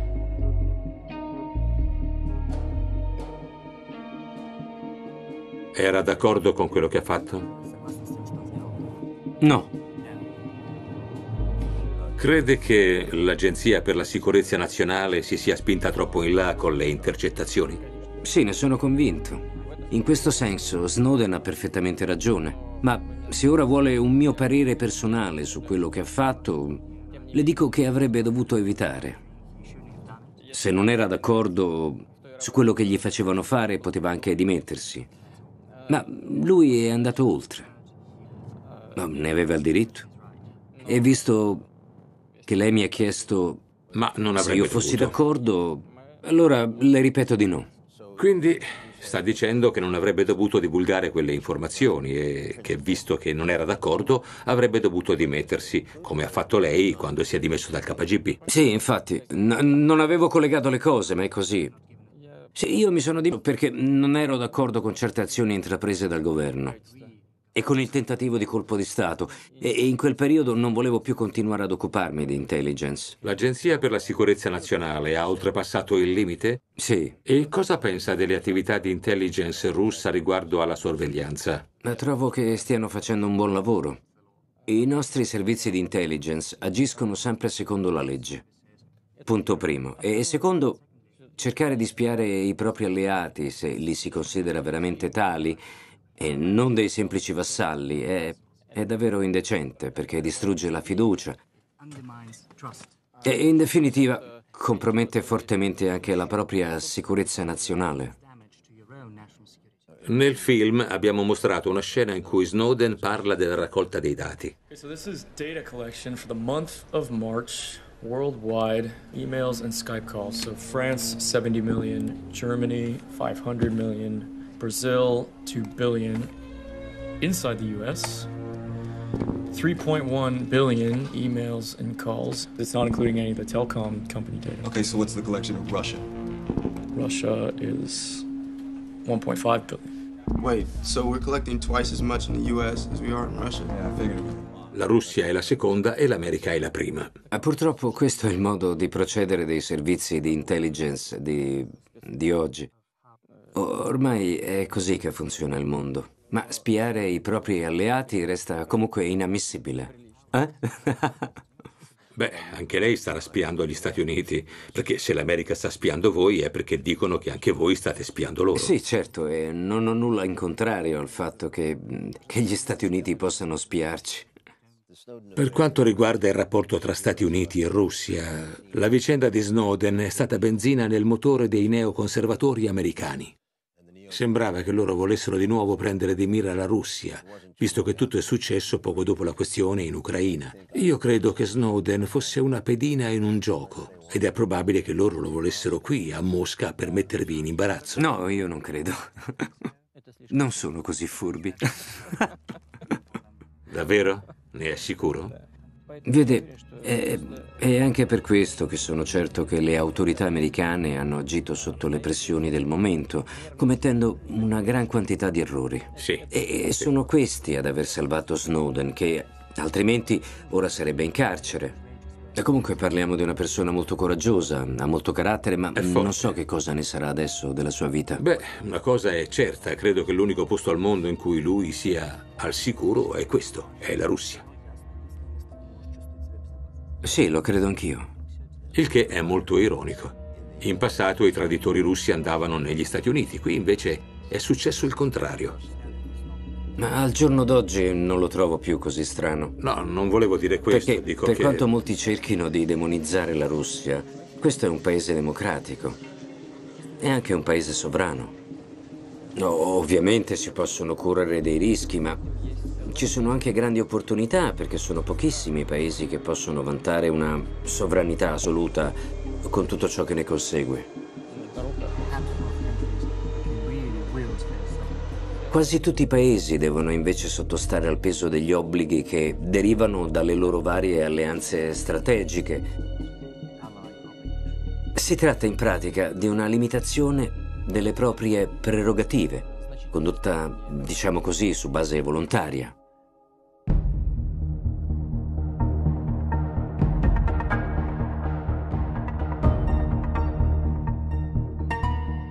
Allora, questa è la sua dacia, è la sua residenza. È una delle residenze di Stato ufficiali. La residenza di Stato ufficiale e ci viene nei weekend? No, questa è praticamente casa mia. Diciamo che divido il mio tempo tra qui e il Cremlino. Ed è circa a 20-25 minuti da Mosca. All'incirca 20 minuti. È stato lei a proporre il ritorno della religione ortodossa nel sistema russo? Io, io, io non c'entro, è stato il popolo russo a deciderlo. Capisco, ma c'è stato un rinascimento, giusto? Sì, sì, è stato un rinascimento dovuto a, alla fine dell'imperante ideologia sovietica che, che ha lasciato un vuoto ideologico che a mio parere poteva essere colmato soltanto dalla, dalla religione. Ho capito. Quando viene qui, dove, dove si siede? Ci sono sedie su cui si può sedere? Ma in realtà non ci sono sedie. La messa ortodossa si segue... E come fate? a- In piedi. Ah, capisco. È una tradizione russo-ortodossa. Le persone non pregano inginocchiate? Pregano in piedi? No, a volte ci si inginocchia.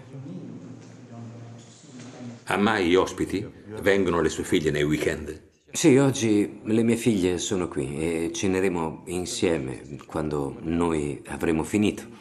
Quando vengono qui portano i loro mariti così che lei possa vedere i suoi generi nei weekend? Sì, hanno la loro famiglia e ci incontriamo È spesso. già diventato nonno?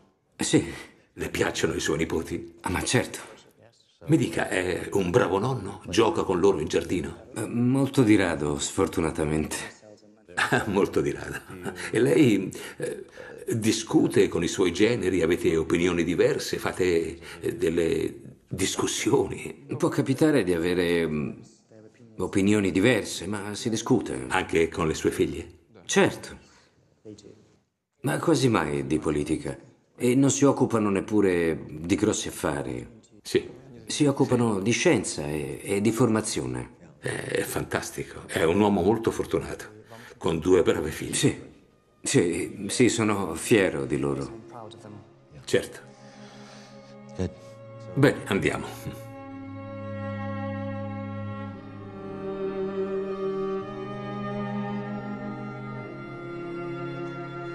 È bellissimo. È un cavallo da corsa? Sì, è bellissimo. È il mio preferito. Gli diamo da mangiare? Tieni, bello. Sembra un puro sangue. Tieni.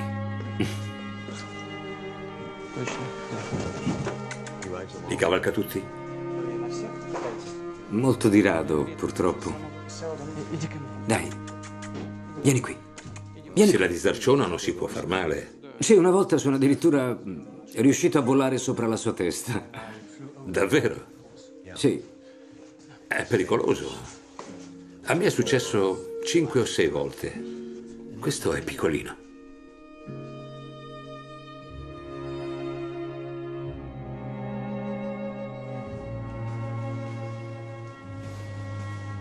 Siete il paese d'Europa con più musulmani. No, non è del tutto vero. Credo che in Francia la percentuale sia la stessa. In passato ha affermato che la popolazione etnica russa sta diminuendo. Fortunatamente siamo riusciti a, a- ad invertire la tendenza. Sì. È il terzo anno consecutivo che riportiamo un aumento della popolazione e questo vale anche per quelle, eh, per quelle regioni abitate dai cosiddetti russi caucasici.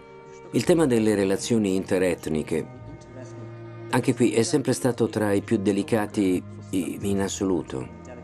Ma la Russia ha un grosso vantaggio in questo senso. Ad esempio, se si prende l'Europa o gli Stati Uniti al giorno d'oggi, troverà persone di, di, di religione diversa, molte di cui emigrate. Qui eh, no. Religioni diverse, ma stessa patria, non ne hanno un'altra. Fin dall'inizio la Russia è nata come, come, come un paese multireligioso e anche fortemente multietnico. Per oltre un migliaio di anni abbiamo cullato una cultura votata all'interazione. E nelle nostre città vivono popolazioni di religioni diverse, come cristiani e, e musulmani, che a volte si ritrovano, possiamo dire, fianco a fianco a festeggiare le rispettive festività religiose. Ora io sono fermamente convinto che sia proprio per tutte queste esperienze così positive che siamo sempre riusciti a superare quelle, quelle difficoltà che sono inevitabili nelle interazioni interetniche e interreligiose. Negli ultimi due giorni ha detto spesso che la Russia è una democrazia. Eh, chi la critica in America, e ce ne sono molti, direbbe che la Russia non è una democrazia, ma che un classico Stato autoritario e che, per esempio, il Parlamento non ha potere e che non prende grandi decisioni. I partiti di opposizione hanno mm, un accesso limitato alla televisione e che il suo partito domina i media, che la procedura per la registrazione è complicata per i partiti di opposizione, che c'è una mancanza di indipendenza dei giudici, anche se questo penso che sia un vecchio problema per la Russia. Queste sono le critiche che spesso vengono fatte contro di lei e mi piacerebbe se cogliesse l'occasione per rispondere. Ah, in ordine. In quanto al carattere democratico dello Stato russo, dobbiamo fare un passo indietro. Basta dare uno sguardo alla storia di un paese retto per quasi mille anni da una monarchia assoluta. La rivoluzione del 1917 è scoppiata con la sfida lanciata dalle forze comuniste, con Stalin alla loro guida. Solo negli anni 90 del secolo scorso abbiamo avuto la possibilità di gettare le basi di una nuova fase dello sviluppo russo. Nessuno può pretendere il, il raggiungimento istantaneo degli standard democratici di paesi come gli Stati Uniti, la Francia o la Germania. Una società, come un organismo vivente, deve poter evolvere passo dopo passo. E questo è il normale processo di sviluppo. Lei ha poi accennato all'accesso ai media. Noi abbiamo centinaia di società televisive e anche radio. Nessuna controllata dal governo, perché è impossibile. Ora, il grosso problema delle forze di opposizione è che non si battono solo per arrivare al potere, quanto il fatto che vorrebbero dimostrare a parole agli elettori che le loro politiche sono migliori e che la popolazione potrebbe beneficiarne. Basterebbe solo dare loro abbastanza voti. Надо всем дружно подниматься и идти на выборы, защищать свои голоса и понимать, что мы можем сформировать сильную команду, можем выдавить команду Путина на обочину, мы можем провести мирно, демократично все необходимые преобразования. Мне нужны ваши голоса. Мне нужна ваша уверенность в том, что можно в нашей стране все изменить. Не бойтесь будущего. Голосуйте за Прохорова. Не бойтесь быть сильными. Я вас никогда не подведу. Нам нужно другое название государства, другое название вашей должности. Верховный правитель. Не хотите император, давайте верховный правитель. Хотя император Владимир I звучало бы хорошо. Venendo al sistema multipartitico e alla possibilità di proporre nuove liste, abbiamo recentemente liberalizzato in modo radicale la situazione e adesso la procedura di registrare il proprio partito è così semplice che gli elettori dovranno affrontare un'altra difficoltà, vista la grande offerta che in futuro si presenterà al Paese.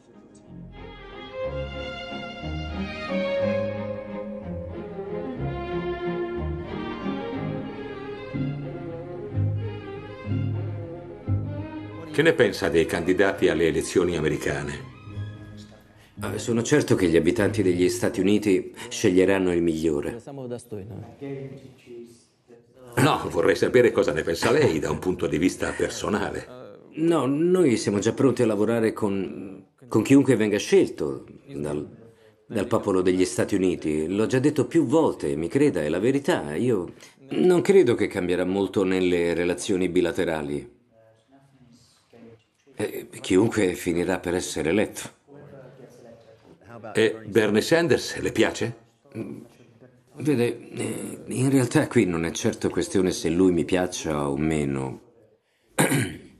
ecco, tutto quello che posso dire a riguardo, avendo qualche esperienza nel campo della comunicazione, è che l'apparato statale degli Stati Uniti è molto potente gli stessi candidati se ne renderanno conto solo dopo che uno di loro sarà stato eletto.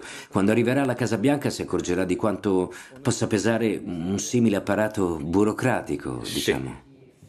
Capisco, ma non ha risposto alla mia domanda su Sanders. Le piace? Provi a riascoltare il nastro. Senta, il mio vecchio collega Barack Obama aveva promesso al mondo di chiudere Guantanamo e non è riuscito a farlo, giusto? Eppure io sono davvero convinto che è quello che avrebbe sinceramente voluto fare. No- non possiamo credere a tutto quello che si dice sotto elezioni. La realtà delle cose è quella che inizierà ad apparire dopo l'insediamento. Ad ogni modo, la speranza è che il nuovo presidente voglia davvero cambiare il paradigma dei, dei rapporti bilaterali tra Russia e Stati Uniti. Ma capisce quanto sarebbe potente la sua risposta se dicesse che preferisce un determinato candidato. Lui domani colerebbe a picco. E se invece dicesse che non le piace Trump o qualcun altro, che succederebbe? Vincerebbe, giusto? Lei ha questo potere negli Stati Uniti. Ma a differenza di alcuni uomini politici, noi non interferiamo mai nelle questioni interne di altri paesi. Questo è uno dei principi della nostra azione. Grazie, signor Presidente. Ci vediamo domani. Parleremo di cose più pesanti. A domani. Grazie. Grazie. Grazie a lei. A domani. Buonanotte.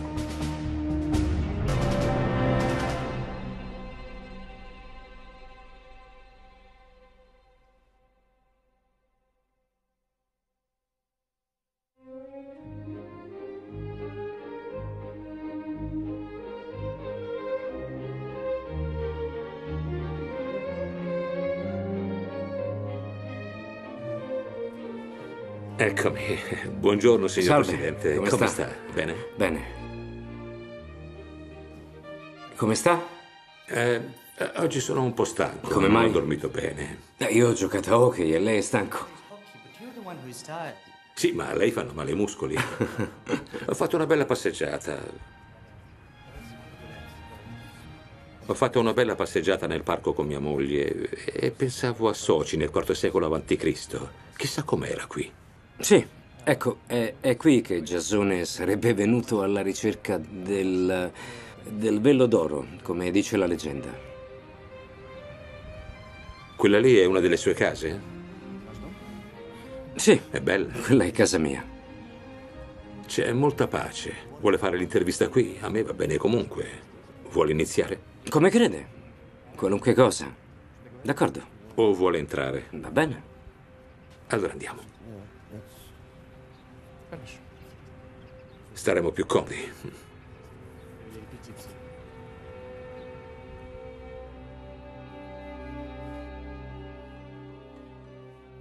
Volevo parlare ancora della crisi in Ucraina. Abbiamo già parlato dei terroristi durante la mia prima visita. Volevo riparlarne solo per essere ancora più chiari, perché sarà una parte molto importante per i nostri spettatori. Sì, è chiaro, ma se non le dispiace io vorrei... vorrei partire dall'inizio della crisi, d'accordo? Dopo l'indipendenza dell'Ucraina è iniziata una selvaggia privatizzazione delle proprietà dello Stato. Io la definirei piuttosto una vera e propria ruberia di massa e la qualità della vita è crollata. Mentre i governi cambiavano in continuazione, nulla cambiava per i cittadini comuni. Ovviamente il popolo era stanco di azioni arbitrarie e della corruzione ad ogni livello. Così come del loro impoverimento a fronte dell'arricchimento di pochi altri. A quel punto è evidente che gli ucraini iniziassero a guardare con favore verso l'Unione Europea, contando che eh, un'adesione avrebbe potuto risollevarli dalle terribili condizioni in cui erano precipitati negli anni 90. È questo il retroterra degli sviluppi a cui abbiamo assistito poi in Ucraina. Le economie dei nostri due paesi stavano finalmente iniziando ad affermarsi congiuntamente. È come un blocco unico dalle grandi prospettive. Il mercato interno della, della Russia era assolutamente aperto alle importazioni ucraine e, e all'epoca non esisteva alcuna barriera tariffaria. Per 17 anni abbiamo discusso con l'Europa dell'adesione della Russia all'Organizzazione Mondiale del Commercio. E quasi da un giorno all'altro veniamo poi a scoprire che Ucraina e Unione Europea avrebbero presto firmato un trattato di libero scambio. Il mercato ucraino si sarebbe così aperto e l'Unione Europea avrebbe potuto invadere con i suoi beni anche il nostro territorio senza alcuna trattativa. Nonostante, come le ripeto, ci fossero stati dei negoziati serrati sulla nostra adesione alla OMC che erano proseguiti per ben 17 anni. Ora noi dovevamo rispondere. Abbiamo convenuto che l'Ucraina aveva tutto il diritto a fare determinate scelte, che rispettavamo in pieno. Ma non stava certo a noi pagare il conto. Perché mai gli abitanti della Russia avrebbero dovuto pagare per una scelta fatta in piena autonomia dalla classe dirigente ucraina. A quel punto abbiamo ufficialmente proposto all'Unione Europea una trattativa a tre, avendo un rifiuto netto. Ci dissero che dovevamo starne fuori. Ora, come lei sa, la crisi è scoppiata quando il, il presidente Yanukovych fu costretto, sicuramente non per sua volontà, ad annunciare il rinvio della firma finale dell'accordo con, con l'Unione Europea.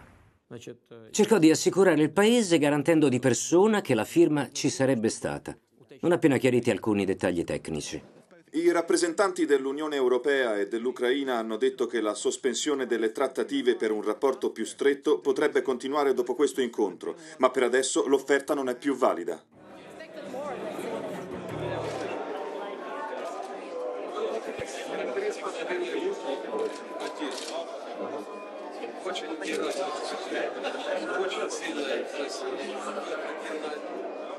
Ecco, è iniziato tutto da lì.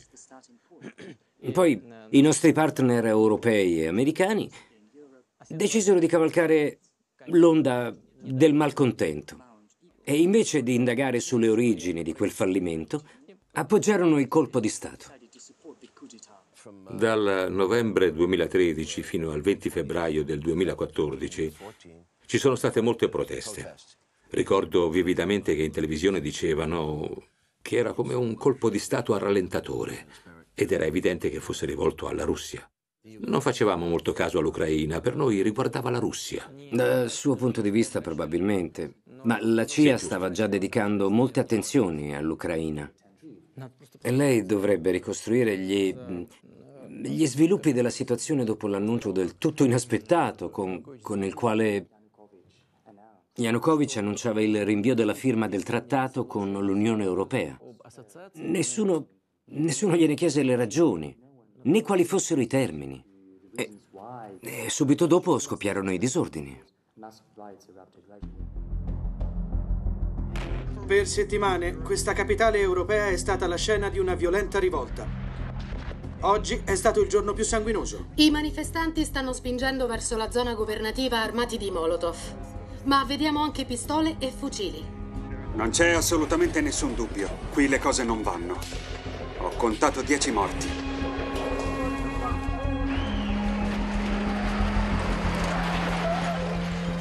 Ci sono perdite da entrambi i lati. Ha appena detto che lì ci sono sei persone morte. Non sono feriti, sono morti, uccisi dai cecchini. 14 poliziotti morti e 43 feriti. Durante il massacro di Maidan, lei riceveva delle informazioni riguardo a quello che succedeva. È stato un massacro stranissimo per via del numero di vittime tra poliziotti e civili e i poliziotti non rispondevano al fuoco. Si ritiravano e venivano invitati a indietreggiare da Yanukovych. Durante quei momenti sembrava che ci fossero dei cecchini che miravano sia alla polizia sia ai civili per creare il caos necessario per il colpo di Stato. Questa sua interpretazione è quella corretta. Yanukovych non ha mai dato l'ordine di sparare sui civili. I nostri partner occidentali, inclusi gli Stati Uniti, ci chiedevano di attivarci per convincerlo a non ordinare di sparare. Ci dicevano di impedire a Yanukovych di usare l'esercito e che avrebbero fatto qualunque cosa per costringere l'opposizione ad abbandonare le strade e i ministeri occupati. Da parte nostra assicurammo tutto l'appoggio possibile e effettivamente non venne utilizzato l'esercito. In seguito Yanukovych dichiarò che non c'era altra via per uscire dall'impasse e che non avrebbe mai firmato un ordine di intervento dell'esercito. Chi erano questi cecchini? Chi può aver utilizzato dei cecchini? Una o più parti che avessero interesse a far precipitare ulteriormente la situazione interna. Non ho informazioni precise a riguardo, ma, ma basta un minimo di logica per arrivarci. Ha ricevuto qualche rapporto riguardo all'addestramento di alcuni battaglioni in altre città e in alcuni settori appartenenti all'estrema destra? Mi è stato detto che un'unità di 100 uomini è arrivata in città alcuni giorni prima del massacro. Secondo le nostre informazioni, alcuni piccoli gruppi armati erano stati addestrati nella parte occidentale dell'Ucraina, in Polonia e in alcune altre zone. Правий сектор не складе зброї. Правий сектор не зніме блокаду жодної з державних установ, поки не буде виконана Найголовніша наша вимога відставка Януковича. Vorrei solo ricordarle che poco prima, se non ricordo male doveva essere il 21 febbraio, erano arrivati in visita a Kiev tre ministri europei che avevano poi partecipato ad un incontro tra il presidente Yanukovych e le forze di opposizione, raggiungendo un accordo informale secondo il quale si sarebbero tenute elezioni anticipate stabilendo anche quali sarebbero stati i rapporti tra il presidente e l'opposizione. La stampa americana ha fatto sembrare come se Yanukovych avesse abbandonato Kiev. Sì, quella è stata la versione utilizzata per giustificare l'appoggio offerto al colpo di Stato. Appena Yanukovych parte per Kharkov, la seconda maggiore città del paese, per una manifestazione politica, uomini armati occupano la residenza del presidente. Ora immagini qualcosa del genere negli Stati Uniti con l'occupazione della Casa Bianca. Lei come lo definirebbe? Un colpo di Stato o solo alcuni volontari che vogliono fare pulizia? Il procuratore generale viene ferito e così uno degli agenti delle forze di sicurezza.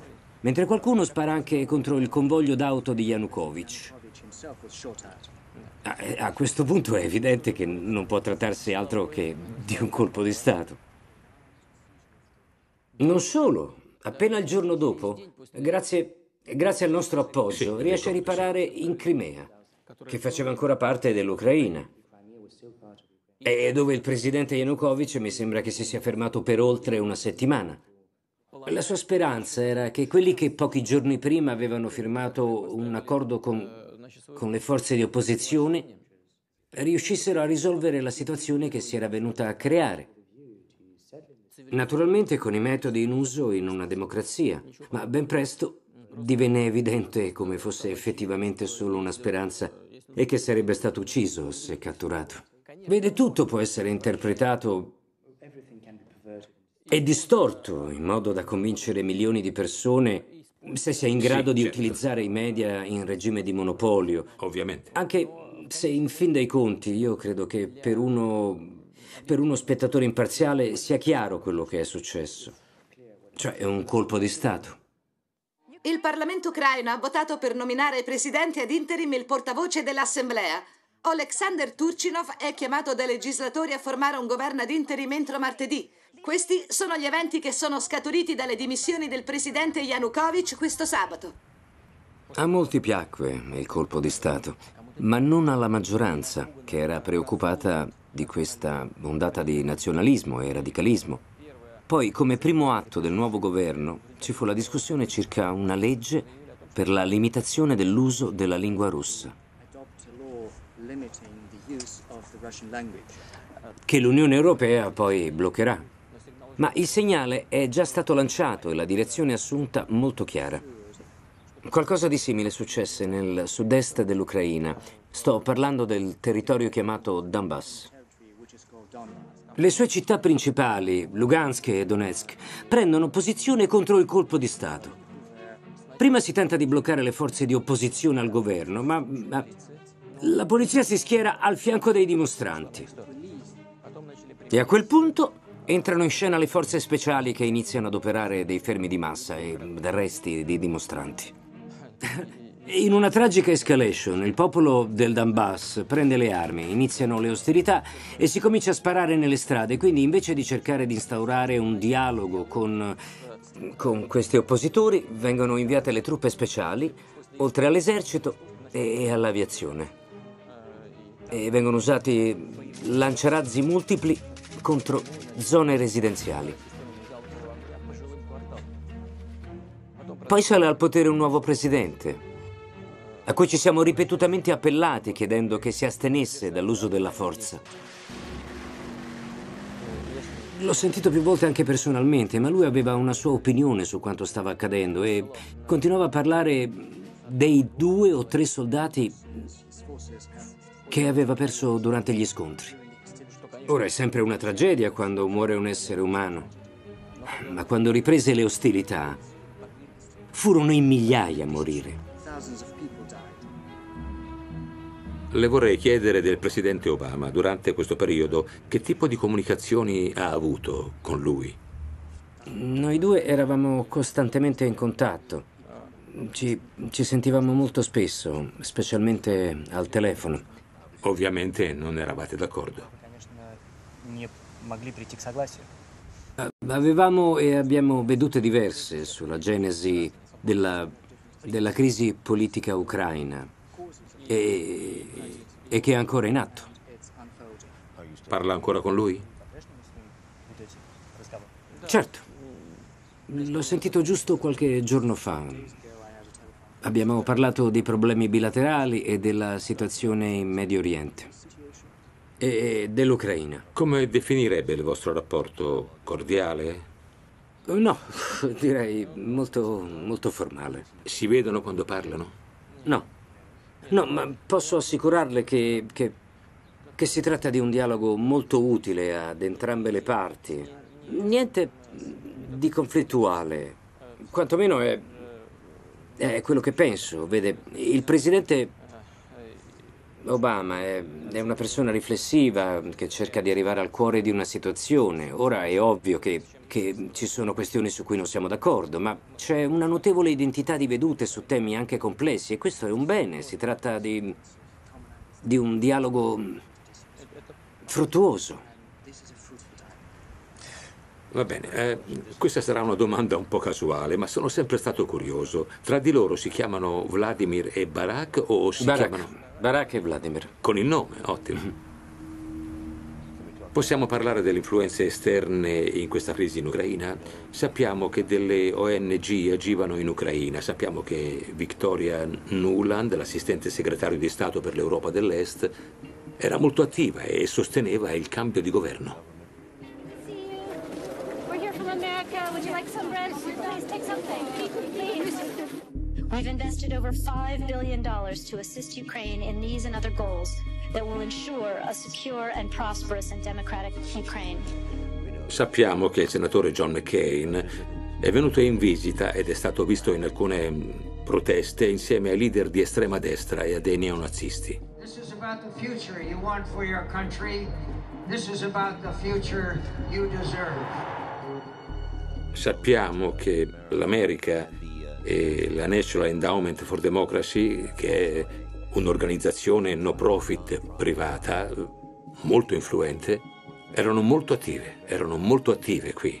Carl Gershman, il presidente dell'organizzazione, ha fatto un discorso molto forte per un'Ucraina indipendente. E sappiamo anche che George Soros, un investitore miliardario ungherese, era molto coinvolto nel sostegno a determinati gruppi in Ucraina. Sì, è vero.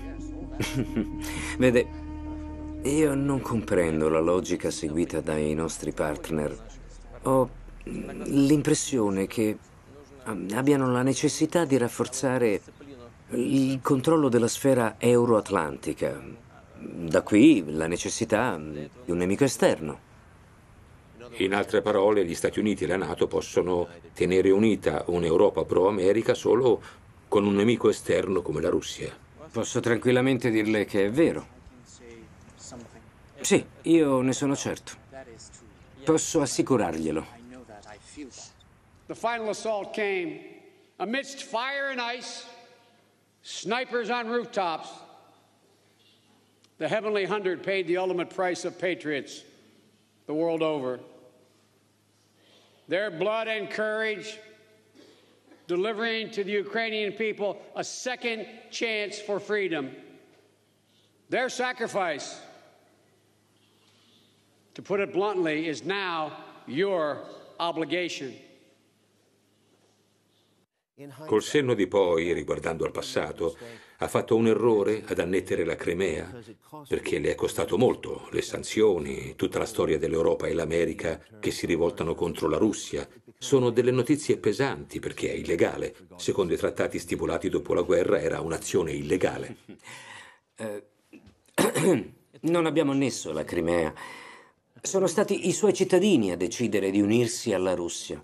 Il legittimo Parlamento della Crimea, che era stato eletto sulla base della Costituzione ucraina, ha indetto un, un referendum. E il Parlamento, con una massiccia maggioranza, ha votato a favore dell'unione con la Russia. Il colpo di Stato in Ucraina è stato accompagnato da una terribile ondata di violenza e c'era il pericolo fondato che i nazionalisti si scatenassero anche contro la Crimea contro coloro che si consideravano russi, che vedevano il russo come la loro madrelingua e che volevano che rimanesse tale. La gente iniziò a preoccuparsi, temendo per la propria sicurezza.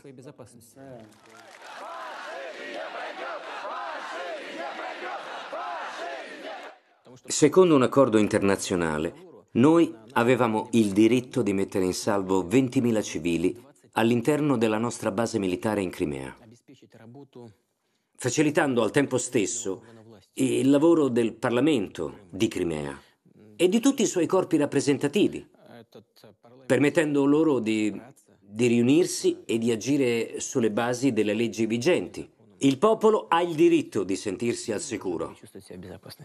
Questo ci fa chiedere se il voto sia stato legittimo e libero, vista anche la massiccia presenza militare in Crimea in questo momento. Sì, abbiamo... abbiamo creato delle condizioni per permettere un voto regolare, ma senza scatenare delle ostilità. Non ci sono stati morti, né feriti. Oltre il 90% della popolazione della Crimea si è recato ai seggi, ha votato e una volta pubblicati i risultati, il Parlamento, in base all'esito del voto popolare, ha chiesto al Parlamento russo l'annessione alla Federazione russa. Più del 90% ha votato per diventare parte della Russia. Gli organi ufficiali dicono che questo è un risultato senza precedenti. L'Ucraina ha perso la Crimea, non certo per un'azione di forza della Russia, ma per una libera scelta della popolazione della Crimea. Popolazione che non ha voluto vivere sotto il nazionalismo, poi è iniziata la guerra civile nel Donbass. Dopodiché eh, il PIL del paese è crollato ai minimi storici, con conseguente peggioramento della qualità della vita. Le grandi industrie hanno iniziato a chiudere in massa, la disoccupazione è esplosa, il potere d'acquisto è conseguentemente crollato e l'inflazione è arrivata, mi sembra, al 45 o al 47%. Noi abbiamo molti legami con l'Ucraina, non siamo solo vicini al popolo ucraino, ma posso, posso dire che siamo praticamente un unico popolo. La, la sua lingua, la sua cultura e ovviamente la sua storia devono essere rispettate. E anche quando appartenevamo allo stesso paese abbiamo sempre rispettato le loro differenze. Basti dire che in molti casi i leader dell'Unione Sovietica sono stati d'origine ucraina. E credo che questo dica, dica molto. Ma economicamente voi siete autosufficienti. Se ne sono andati. Lasciate a loro i loro problemi, diciamo, sicuramente non distruggerà la vostra nazione. No, affatto. E a un certo punto, durante il nostro ultimo incontro, io le ho chiesto della base per sottomarini in Crimea, a Sebastopoli. Lei ha detto che non si sentiva minacciato dalla perdita della base. Sì, abbiamo rischiato di perderla. Anche se in realtà è stato solo un rischio a livello potenziale. Ad ogni modo sappia che al momento stiamo costruendo una nuova base navale non lontano da Sebastopoli, a Novorossiysk. Anche se la Nato e l'Ucraina facessero un accordo, non credo che rappresenterebbero una minaccia per la Russia, anche se avessero delle nuove armi. Io la vedo. E il fatto è che una volta che la Nato inizia ad insediarsi in questo o quel paese, né la leadership politica di questo o quel paese, né tantomeno la popolazione potrà influenzarne le decisioni. E tra queste la, la possibilità di, di rifiutare il posizionamento di nuovi sistemi d'arma anche del nuovo sistema antimissili. E questo significa che noi dovremo rispondere. Ecco, al momento stiamo assistendo ad un certo rafforzamento dell'influenza americana in Europa, in parte dovuto ai paesi dell'Europa orientale. Quasi come avessero bisogno di riaffermare un, un loro affrancamento dal dominio di quella che una volta era la vecchia Unione Sovietica e che temono di vedere riproposto dalla Russia. Ma questo non può durare. Attraverso il precipitare della crisi in Ucraina si sta cercando di allargare questo sentimento verso la Russia, raffigurandola come un nuovo nemico e come potenziale aggressore. Però, presto o tardi, tutti dovranno capire che noi non rappresentiamo una minaccia. Non più né per i paesi baltici, né per l'Europa dell'Est, né tantomeno per i paesi dell'Europa occidentale. Ora, più radicato resterà questo, questo malinteso.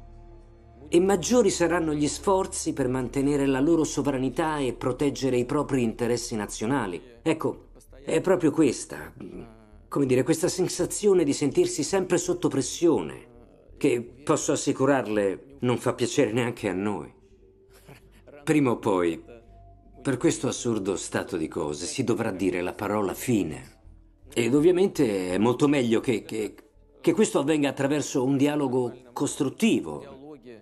Ora, qualcuno potrà anche utilizzare l'esempio della, eh, della, della Corea del Nord per dipingere un quadro ancora più fosco degli schieramenti, ma secondo me questo è un periodo di transizione verso, verso un nuovo paradigma nei rapporti internazionali, verso una nuova filosofia nei rapporti tra paesi e questo paradigma dovrà essere improntato alla salvaguardia degli interessi reciproci e della sovranità nazionale, non certo ad un clima di intimidazione, tale da richiedere protezione da parte degli Stati Uniti. Il clima attuale non può durare in eterno.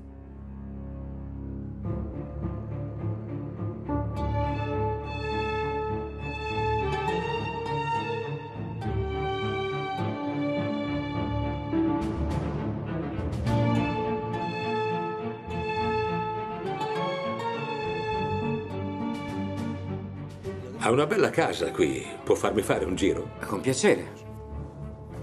Come fanno con il riscaldamento? Dovrebbe, Ah, non fa niente. Dovrebbe chiedermi qualcosa di più semplice. Ma diciamo che ci riescono, ma di sicuro non usano la legna.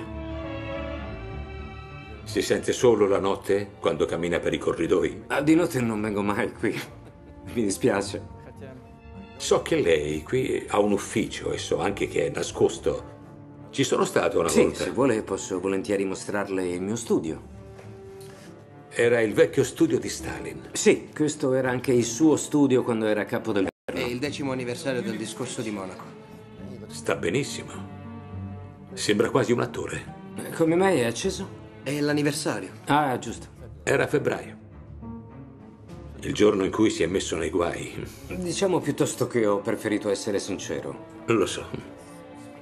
Ecco il mio studio. È qui che lavoro di solito. Ora è più piccolo rispetto a prima. Una volta non c'era quella parete. Qui è dove lavora adesso e fa anche Sì. le riunioni? Sì, a quel tavolo.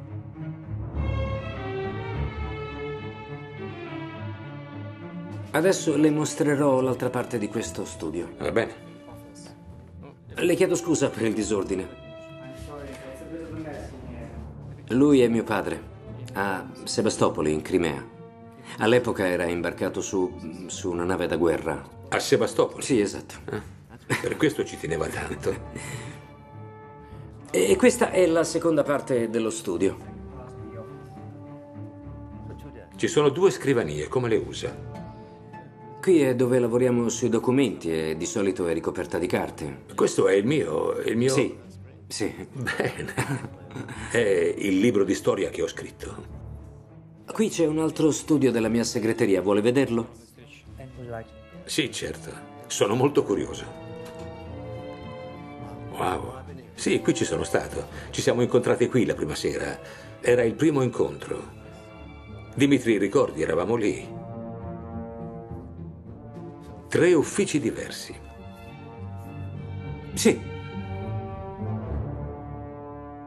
L'ultima volta che abbiamo parlato della sorveglianza di massa, ho avuto l'impressione che lei non fosse favorevole e che non approvasse le tecniche americane. E come abbiamo mostrato nel nostro film su Snowden, perché funzioni meglio contro i terroristi, bisogna avere un bersaglio preciso. Poi io me ne sono andato e quando sono tornato ho sentito che è stata emanata una nuova legge che viene soprannominata legge del Grande Fratello e riguarda le tecniche di sorveglianza di massa. Sono sorpreso, anche Snowden qui in Russia non le approvava. Lei ha menzionato il signor Snowden, che ha rivelato al mondo come la NSA e la CIA tenessero sotto controllo privati cittadini di tutto il mondo, oltre che politici di paesi che almeno nominalmente erano loro Giusto. alleati. Ora, noi abbiamo studiato una legge secondo la quale certi dati e tutte le, le informazioni raccolte dovranno essere conservate dalle società che, che forniscono servizi internet e di telefonia. Ma vede, le mm, informazioni riservate, quelle davvero importanti, potranno essere raccolte solo, solo dai servizi segreti e dietro, dietro specifico permesso del giudice. Ora, leggi simili sono in vigore negli Stati Uniti, in Canada, in Australia e in molti altri paesi. Leggi che io ormai trovo necessarie in funzione antiterrorismo, perché se certe informazioni venissero semplicemente cancellate, allora svanirebbero anche le speranze di perseguire chi infrange la legge, terroristi compresi. Ma perché lo state facendo? Sembra che vogliate rivolgerle contro i cittadini russi. Al momento purtroppo c'è il Daesh che sta operando in Siria, insieme a diverse altre organizzazioni terroristiche, anche molto pericolose. Noi abbiamo 4.500 uomini che le contrastano. Oltre, certo. oltre ad altri 5.000 nei paesi dell'Asia centrale che facevano parte una volta dell'Unione Sovietica. E poi anche noi abbiamo subito dei gravi attentati. Soltanto lo scorso anno i servizi segreti sono riusciti a sventare oltre 45 attacchi terroristici.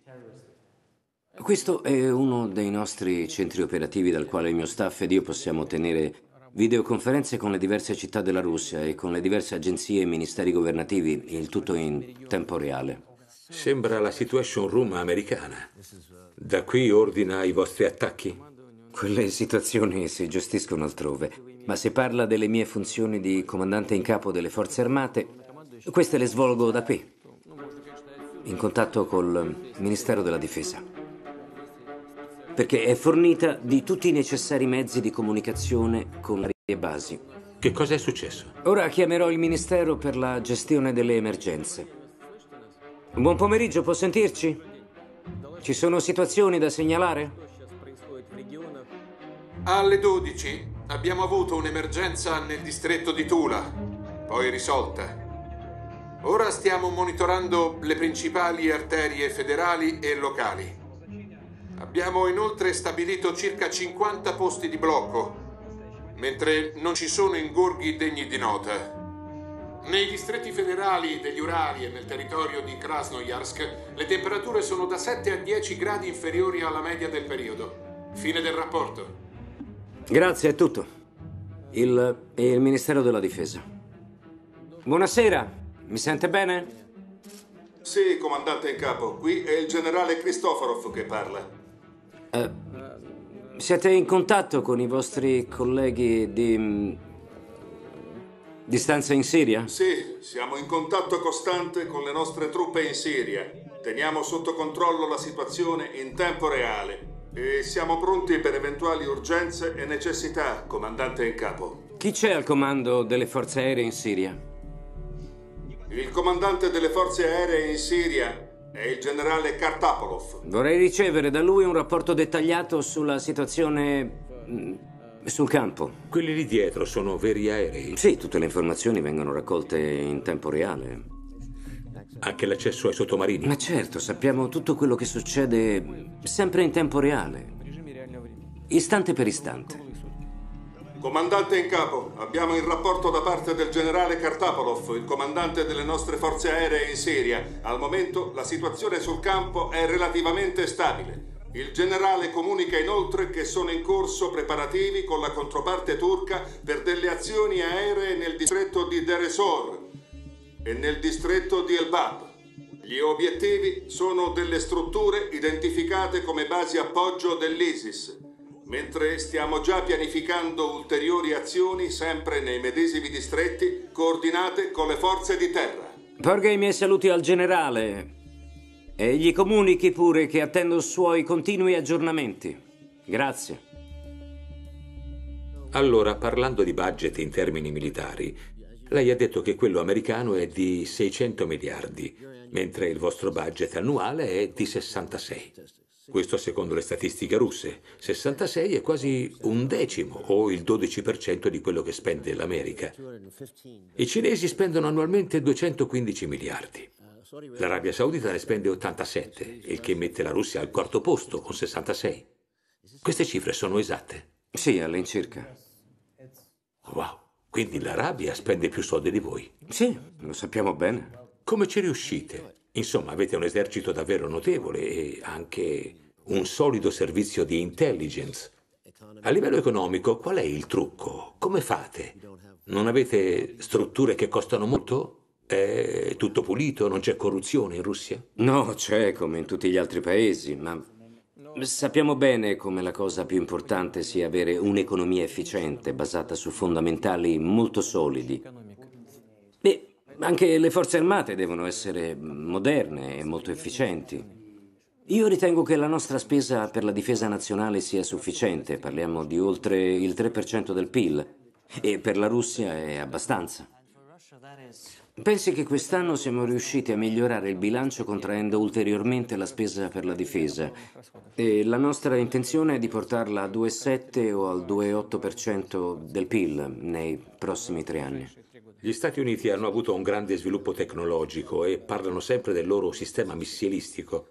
C'è motivo di credere che abbiano raggiunto qualche tipo di superiorità in campo tecnologico? Per ora no. Ma è possibile. E sicuramente dobbiamo tenerlo presente. Ma devono avere un piano, stanno facendo qualcosa. Sento che stanno lavorando su qualcosa e forse hanno un vantaggio. È possibile che i vostri missili possano essere distrutti da un attacco americano e che noi siamo in grado di resistere a ogni tipo di vostro attacco? E che ci potrebbe essere un secondo attacco che distruggerebbe le vostre città, la vostra popolazione e tutto il resto? Quello che stanno facendo è costruire un ombrello per proteggersi. Ma la conseguenza di questo comportamento non è altro che una nuova corsa alle armi e tutto questo non fa altro che creare nuovi sospetti.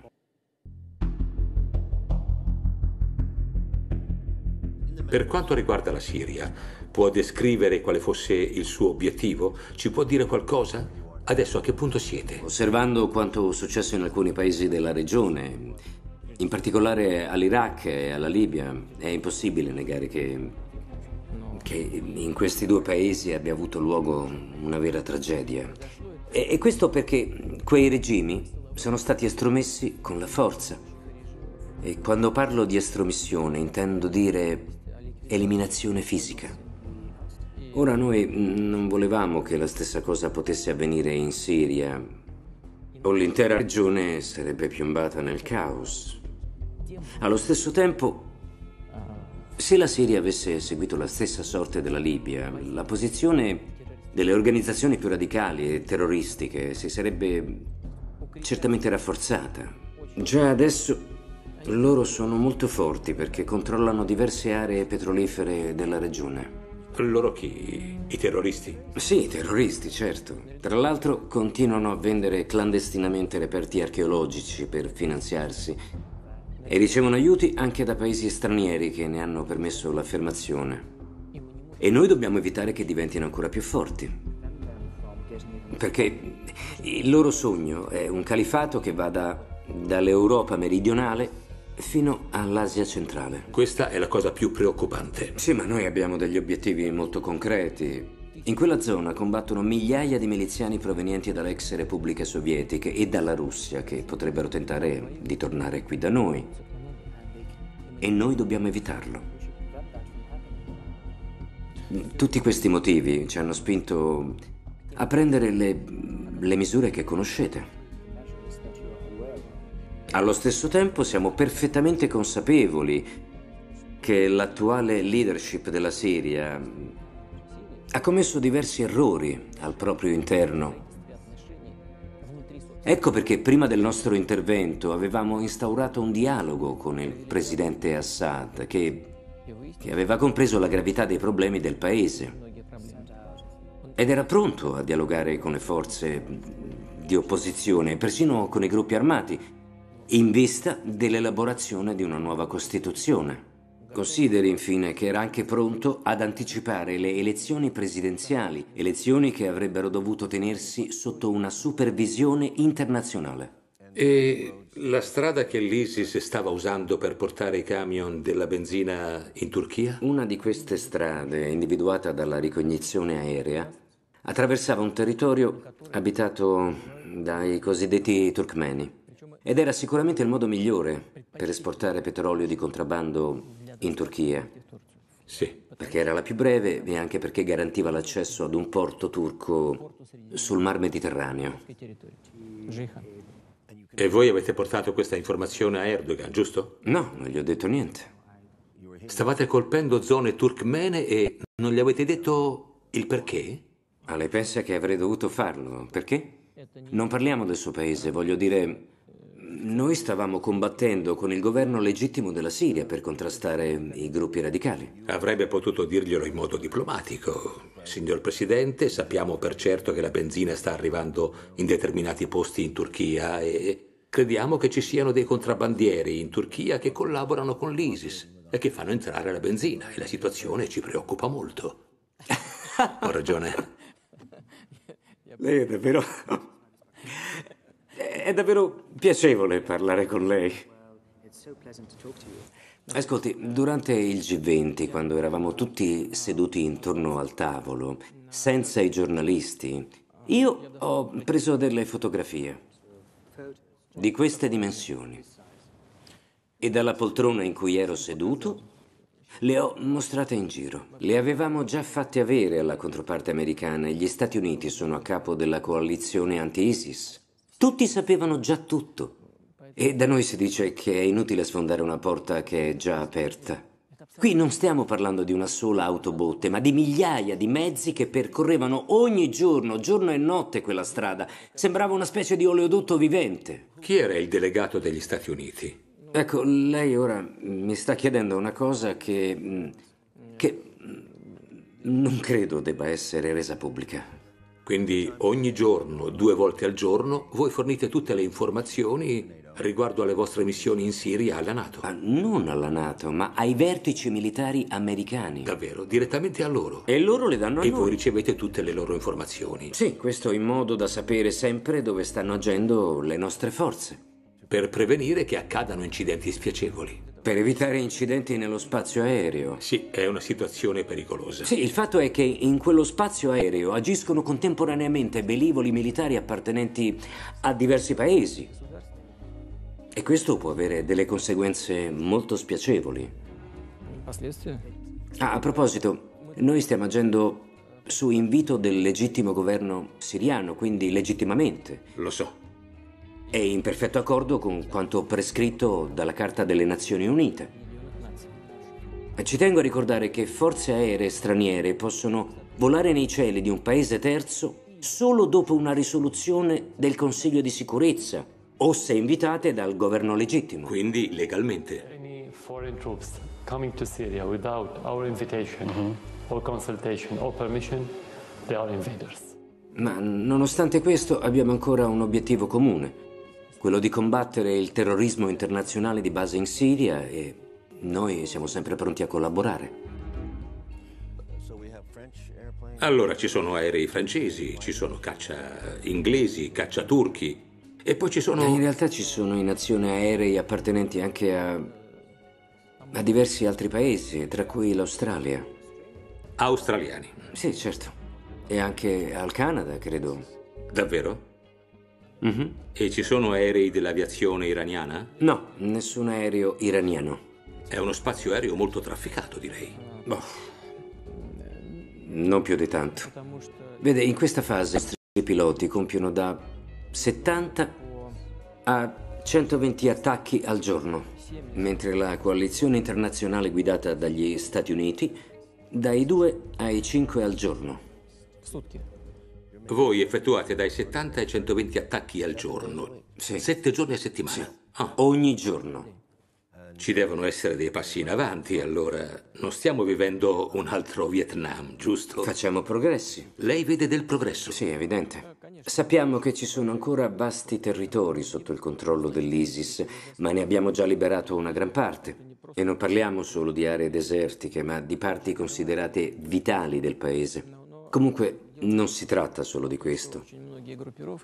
Il fatto è che in Siria vivono molti gruppi tribali, tra i quali alcuni ed sunnita che ci hanno assicurato di voler contribuire alla lotta contro l'ISIS. Abbiamo stabilito dei contatti con loro e ne abbiamo informato sia il presidente Assad che, che i vertici militari siriani, che hanno subito assicurato loro il massimo appoggio logistico e militare per coordinare la loro attività sul campo in funzione anti-ISIS e, e antifronte al-Nusra.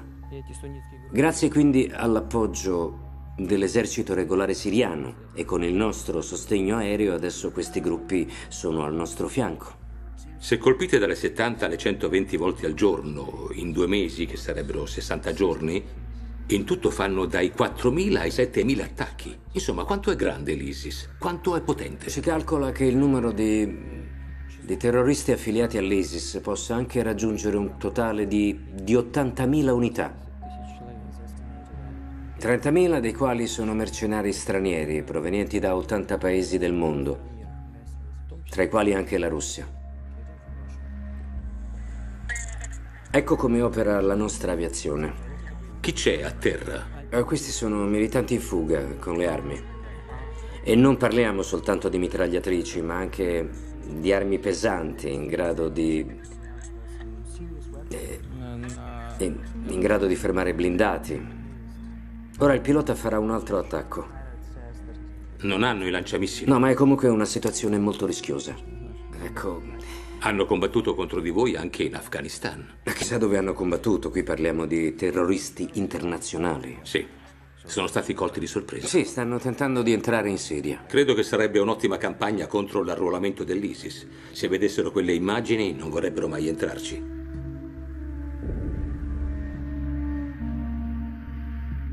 Non siamo interessati a gettare ulteriore benzina sul fuoco, al contrario noi stiamo cercando di facilitare il dialogo in modo da salvaguardare l'integrità territoriale.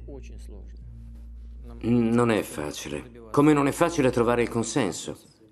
Ecco, ci sono dei contatti diretti con l'Iran e la Turchia che ci auguriamo tutti possano presto avere successo. Ma ci serve anche l'appoggio degli Stati Uniti dell'Arabia Saudita, della Giordania e dell'Egitto. Ora noi procederemo molto cautamente, in modo da, da consolidare ogni passo che riusciremo a fare in avanti, invece di tornare indietro. Senta, parliamo di un'altra situazione di guerra. In Crimea, quando doveva tenersi il referendum, il Donald Cook, un cacciatorpediniere americano, a quanto pare stava entrando nel Mar Nero, ma ha fatto inversioni a U e non ha portato a termine la sua missione. Sembra una situazione simile a quella della crisi missilistica a Cuba, quando una nave si stava avvicinando alla linea di demarcazione e ha fatto marcia indietro. Una volta che la Crimea è diventata parte integrante della federazione, sì. è cambiato ovviamente il nostro atteggiamento nei suoi confronti. A questo punto ne consegue che, che se percepiamo una minaccia verso un nostro territorio e la Crimea adesso fa parte della Russia, come farebbe qualunque altro paese, noi ci difendiamo con tutti i mezzi a nostra disposizione. La tensione sale tra gli Stati Uniti e la Russia dopo che un jet russo è volato vicino a una nave da guerra americana nel Mar Nero. Ci colleghiamo con la nostra corrispondente a Washington. Marta, questa manovra dei russi ha fatto rinascere qualche ricordo della guerra fredda? Direi proprio di sì, George. Questo jet russo è sfrecciato accanto a un cacciatorpediniere americano nel Mar Nero non una, ma 12 volte nell'arco di soli 90 minuti. La NATO ha annunciato che terrà delle manovre nel Mar Nero e mentre un incrociatore russo è apparso a largo delle coste della Romania e un gruppo navale con due portaerei sta incrociando nel Mediterraneo, la USS Donald Cook dotata di missili cruise si sta avvicinando alla Crimea. Io non azzarderei un'analogia con la crisi di Cuba sì. perché allora giungemmo davvero solo a un passo dall'Apocalisse. In questo caso fortunatamente non siamo arrivati a tanto. Anche se abbiamo messo in campo tutti i sistemi di difesa navale più sofisticati del nostro arsenale. Mi pare che si chiamasse Bastion. B- Bastion. Ma è un missile bello grande e il cacciatorpediniere, il Donald Cook, aveva solo dei missili Tomahawk. Sì, infatti, e quelli che abbiamo in Crimea servono a contrastarli, per cui la Donald Cook sarebbe stata senza difesa. Forse è per questo che è tornata indietro. Il vostro comandante aveva l'autorità di far fuoco. I nostri comandanti hanno sempre l'autorizzazione ad usare tutti i mezzi a disposizione per difendere l'integrità della Federazione russa. Sarebbe potuto capitare un incidente gravissimo. Sì, e di quelli molto gravi. Perché quell'incrociatore si era avvicinato tanto alle nostre coste? Noi abbiamo tutto il diritto di proteggere il nostro territorio. Quanto tempo ci avete messo a rispondere, più o meno? È successo tutto in tempo reale una volta localizzato l'incrociatore è stato identificato come una minaccia potenziale e la sua posizione è stata subito comunicata ai nostri sistemi missilistici basati a terra. Certo. Non so chi fosse il comandante dell'incrociatore, io so solo che, che ha dimostrato un notevole buonsenso e anche coraggio, perché non è mai facile decidere di fare marcia indietro. Comunque è stata la decisione giusta, quella di non andare oltre. Avrebbe solo rischiato di far precipitare la situazione ad ogni modo, questo non vuol dire che avremmo attaccato l'incrociatore, ma abbiamo dimostrato che eravamo pronti a difendere le nostre coste. Certo. C'è stato un qualche tipo di avvertimento? Il comandante ha capito che la sua nave era stata inquadrata dai nostri sistemi d'arma. Ci sono delle apparecchiature che lo segnalano. Tutto questo avviene in due minuti, in mezz'ora, 50 minuti? Non lo so con esattezza, ma possono bastare pochi secondi. Mi dica, queste cose succedono spesso perché lei mi sembra molto calmo. Ma come ci riesce? Sì, a volte succede. No, in realtà siamo stati costretti a mettere il dito sul grilletto, per, per così dire. L'hanno messa sotto pressione? Sì, certo. Noi dovevamo in ogni caso essere pronti a rispondere. Finalmente lo sta ammettendo.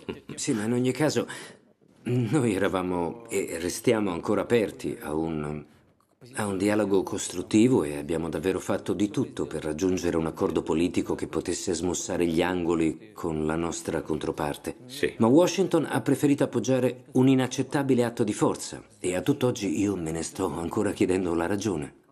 A quel tempo lei disse, questo è un territorio storico per noi, queste persone sono russe e adesso sono in pericolo, non possiamo lasciarli soli. Non siamo stati noi a fare il colpo di Stato, sono stati i nazionalisti e delle persone di estrema destra. Voi li avete sostenuti, ma dove vivete?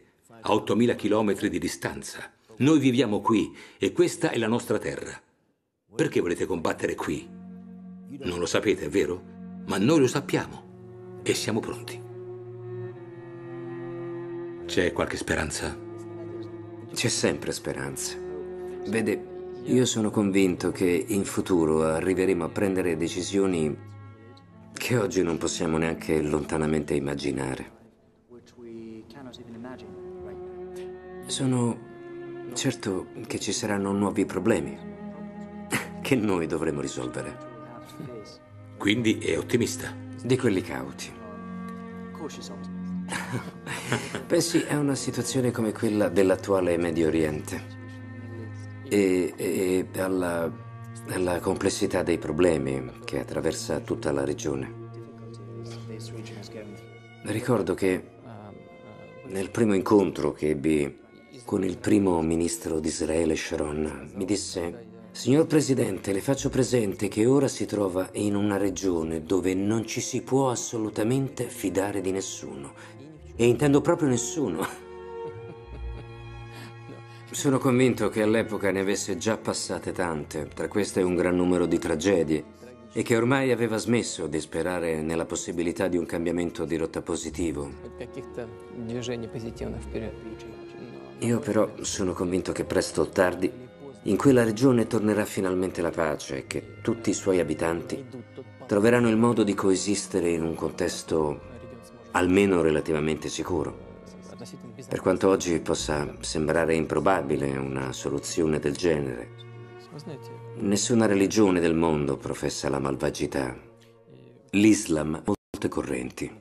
Ci sono gli sciiti, i sunniti, è evidente la divisione tra queste due correnti dell'Islam, ma credo che prima o poi questa divisione verrà colmata. Oppure Mosca sarà un califfato. Noi faremo in modo di evitarlo. Lei dovrebbe vigilare che Washington non si trasformi in un califfato. Grazie. Siete stati molto vicini al sentiero di guerra e adesso succede di nuovo. La sua è una presidenza molto tesa. Ah, ecco. In realtà non ci sono mai stati tempi molto facili. Dobbiamo semplicemente ringraziare Dio di averci offerto la possibilità di servire il nostro paese.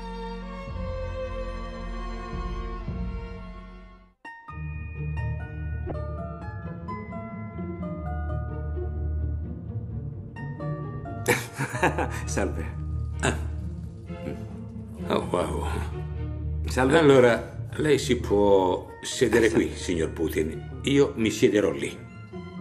Io farò il giro e ci incontreremo qui. Ma se vuole posso scendere da lassù. Ci incontreremo qui. Da lì mi piace di più. Da un senso di profondità. In effetti c'è un bar lì dietro se vuole. Più indietro, più indietro. Va bene. Bene, è pronto? Farò finta che non ci conosciamo e faremo finta che non ci vediamo da mesi, ok?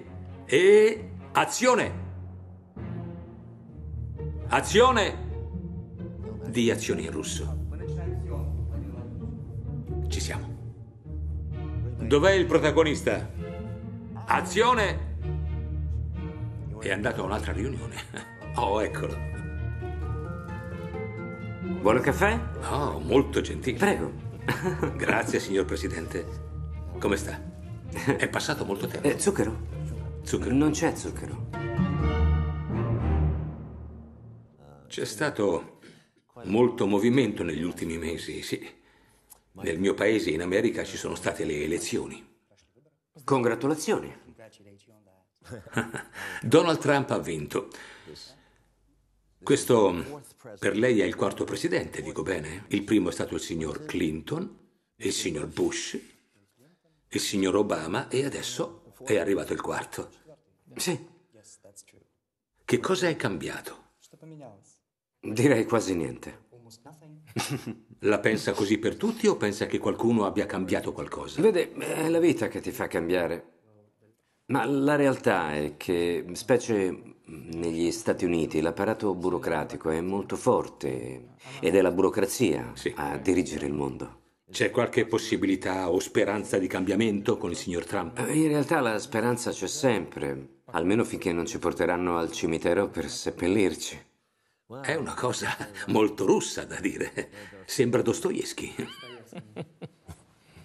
Vladimir Putin himself directed the covert cyber attacks. This is not just an attack against me and my campaign, this is an attack against our country. L'intelligence americana crede che l'attacco informatico alle email del Comitato Nazionale Democratico sia stato ordinato dallo stesso presidente russo Vladimir Putin. In early September, when I saw President Putin in China, uh, I felt that the most effective way to ensure that that didn't happen was to talk to him directly and tell him to cut it out. And there were going to be some serious consequences if he didn't. Le elezioni sono state criticate pesantemente e i titoli di tutti i telegiornali e dei media in Occidente dicono che la Russia ha interferito in questa elezione per favorire il signor Trump. Questa è, è una convinzione senza fondamento. Siamo sicuramente soddisfatti dell'elezione del signor Trump perché ha più volte dichiarato pubblicamente l'intenzione di ristabilire rapporti amichevoli con la Russia se fosse stato eletto. E quando giornalisti di tutto il mondo mi hanno chiesto di commentare la cosa, io ho sempre domandato se c'era qualcuno contrario ad un clima più rilassato tra Russia e Stati Uniti. Ovviamente ci sarà da, da, verificare cosa succederà effettivamente tra i nostri due paesi, ma l'accento è stato posto sui rapporti commerciali e la lotta al terrorismo, il che mi sembra positivo. Certo. Allora perché avrebbe dovuto hackerare le elezioni? Noi non abbiamo mai interferito in quel senso. Ora, ora, sarebbe difficile immaginare un paese, fosse anche un paese importante come la Russia, che, che, riesce a influenzare la campagna elettorale o le stesse elezioni degli Stati Uniti. Torno a ripetere, degli ignoti hacker hanno portato alla luce alcuni problemi, ma non credo possano avere condizionato la campagna o il risultato. Torno a ripetere, degli hacker hanno messo in grande difficoltà i democratici, ma non hanno inventato niente, né hanno cercato di, di ingannare qualcuno. E il fatto che la portavoce del comitato esecutivo del Partito Democratico si sia dimessa testimonia che deve esserci qualcosa di vero. Quindi inutile prendersela con gli hacker. Questi sono problemi interni degli Stati Uniti. Qualcuno ha poi cercato di manipolare l'opinione pubblica tentando di creare l'immagine di un nemico. E identificandolo con la Russia quando avrebbero dovuto scusarsi con il loro elettorato. Io credo che il popolo americano aspetti da molto tempo un cambiamento reale in particolare in merito alla sicurezza, alla lotta alla, alla disoccupazione e quindi nella ricerca di nuovi posti di lavoro.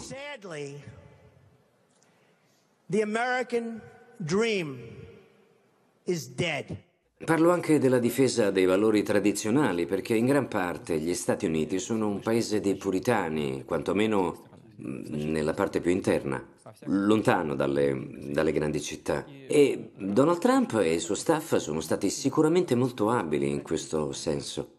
Hanno compreso dove erano localizzati i propri elettori, quali erano gli stati in cui avrebbero potuto raccogliere la maggior parte dei voti e si sono concentrati su quelli. E quando ho seguito i suoi discorsi durante la campagna, ho spesso pensato che stesse esagerando. Ma in effetti ha avuto ragione lui. Donald J. Trump is calling for a total and complete shutdown of Muslims entering the United States until our country's representatives can figure out what the hell is going on. Build that wall. Build that wall. Sa come arrivare al cuore delle persone per ottenerne il consenso. E non credo che qualcuno possa obiettivamente mettere in dubbio il risultato di queste elezioni. Al contrario, chi è stato invece battuto dovrebbe tirare le conclusioni di quanto è successo, dovrebbe, dovrebbe fare autocritica invece di cercare scuse all'esterno. Io credo che Obama e la sua squadra abbiano creato una specie di campo minato per accogliere il presidente entrante. Parlo di un ambiente che gli renderà difficile realizzare il proprio programma elettorale, anche se non ci aspettiamo certo una rivoluzione. Ma persino Trump ha detto che la Russia ha hackerato le elezioni. As far as hacking, I think it was Russia, but I think we also get hacked by other countries and other people. Non so cosa intenda con hackerare le elezioni. Ho sentito diverse sue dichiarazioni in questo senso, ma vorrei solo ricordare che nella situazione attuale questi attacchi possono essere condotti quasi letteralmente da chiunque. È la tecnologia a permetterlo. È la realtà. Basta un computer e qualcuno con le competenze adatte. E, il bello è che può farle credere di agire praticamente da qualunque paese del mondo.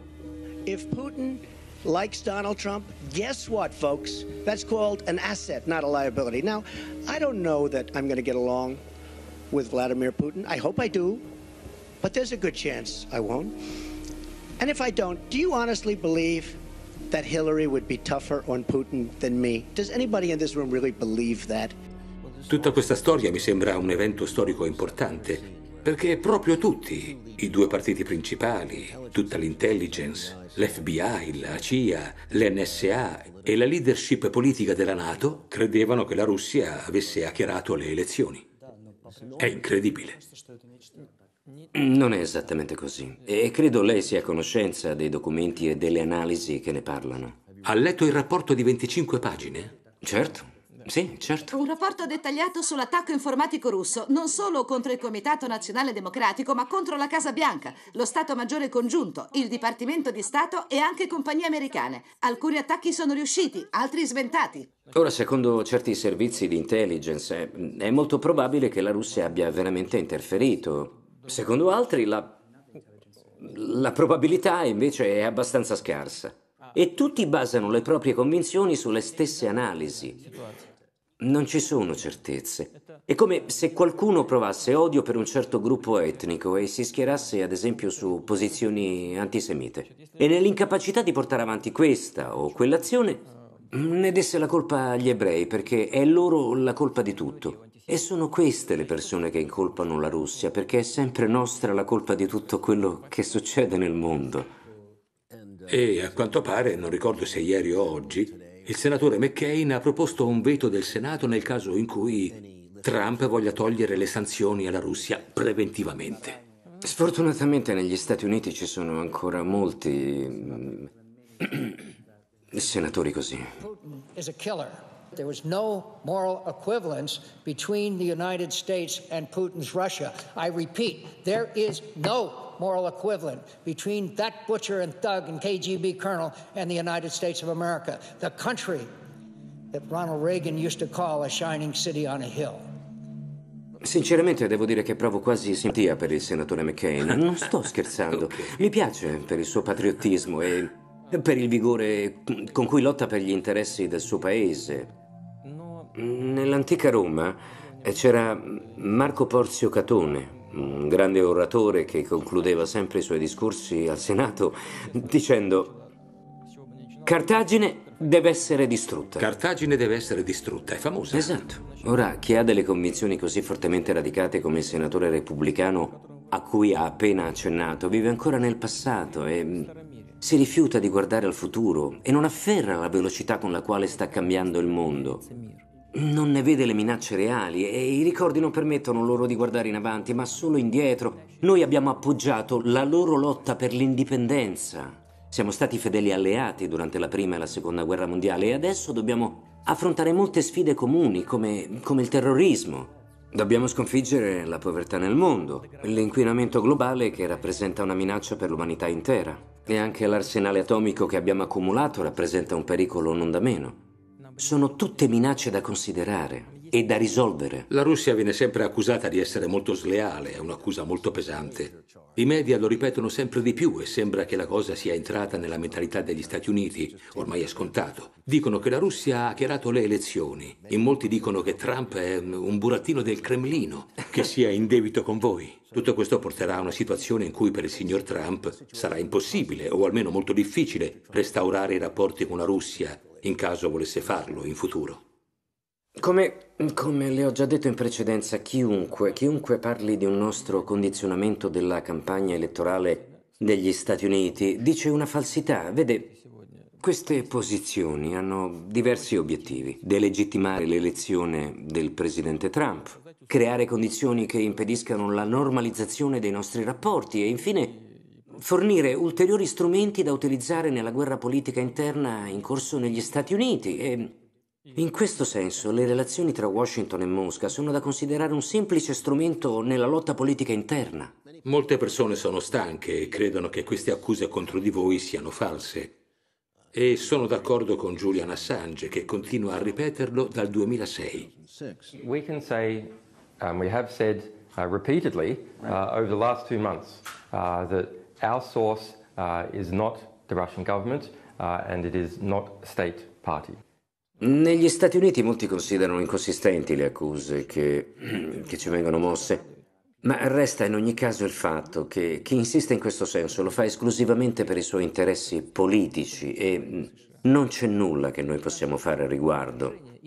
Qualunque nostra spiegazione diventerebbe un nuovo strumento in questa guerra non dichiarata, ma noi conosciamo i loro trucchi. Ma se conoscete tutti i loro stratagemmi, perché non fate una dichiarazione riguardo a questa guerra informatica? Potreste dimostrare che questa cosa è impossibile, che ci sarebbe dovuta essere una traccia. Ci sono così tante strade che avreste potuto intraprendere. Sembra che non vogliate difendervi dalle accuse che vengono mosse contro di voi. Lasciate che vi accusino e pensate che sia tutto normale. Sì, lei ha ragione, ma resta il fatto che queste cose non ci preoccupano. Si tratta di un loro problema interno. Ora ci terrei a ripetere una cosa. Gli hacker non possono aver influito più di tanto sull'ultima campagna elettorale degli Stati Uniti. E in realtà quello che hanno fatto è solo portare alla luce dei problemi della vita politica americana e, e sicuramente non, non, si sono inventati niente. E, e, le dirò anche che non importa granché se siano venuti dalla, dalla Russia o magari da, dall'America Latina, dall'Asia o, dall'Africa. C'è qualche prova nel cyberspazio che la Russia può presentare in sua difesa? Ci sono prove che indicano che ci siamo noi dietro? Questa è la miglior difesa. In realtà quei rapporti a cui lei ha accennato e che vengono dalla NSA o dalla CIA non contengono niente di concreto. Non ci sono altro che semplici ipotesi e, e congetture. Quindi lei aspetta che si calmino le acque e allo stesso tempo Trump ha affermato anche più di una volta che vuole una crescita del settore militare sia in campo nucleare che convenzionale. Il che non ha senso. Come fa l'America a spendere più di quanto sta già spendendo? Ma di questo ne abbiamo già parlato. Gli Stati Uniti spendono per la loro difesa più di tutto il mondo messo insieme. Si rende conto dell'enormità di stiamo parlando? I contribuenti americani dovrebbero iniziare a rifletterci su. Ci sono altre cose su cui spendere certe somme, come la sanità pubblica, l'istruzione, il sistema pensionistico. Ci sono molte questioni sociali da affrontare con un debito pubblico di quasi 20 trilioni di dollari. Ai, ai militari non bastano mai i soldi che stanziamo per la difesa e, e mi creda, abbiamo, abbiamo anche noi gli stessi problemi in quel senso. Spera di poter avere un incontro in futuro, nei prossimi mesi, con il signor Trump. Sono certo che presto ci incontreremo, ma senza troppa fretta.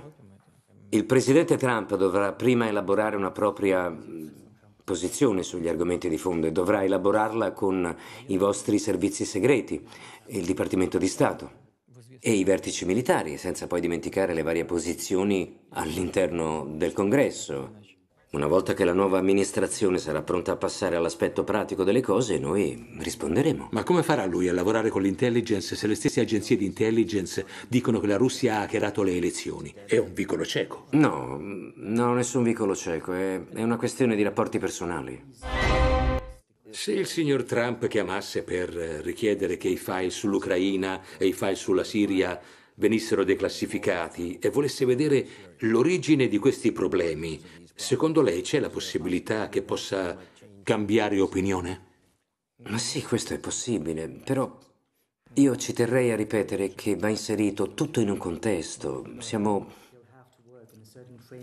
come dire, siamo adulti e sappiamo bene come vanno certe cose. La speranza è che quando avrà preso possesso della reale natura delle sfide che lo attendono sia in grado di, di sviluppare una sua visione di quello che succede, da cui possa derivare un clima di mutua comprensione su cui poter costruire qualcosa di serio. Dobbiamo poter lavorare concretamente con il Dipartimento di Stato e far sì che questo nuovo clima si allarghi anche ai livelli di servizi segreti e di uffici per la sicurezza nazionale a questo punto non bastano più le dichiarazioni ufficiali né da parte loro né nostra.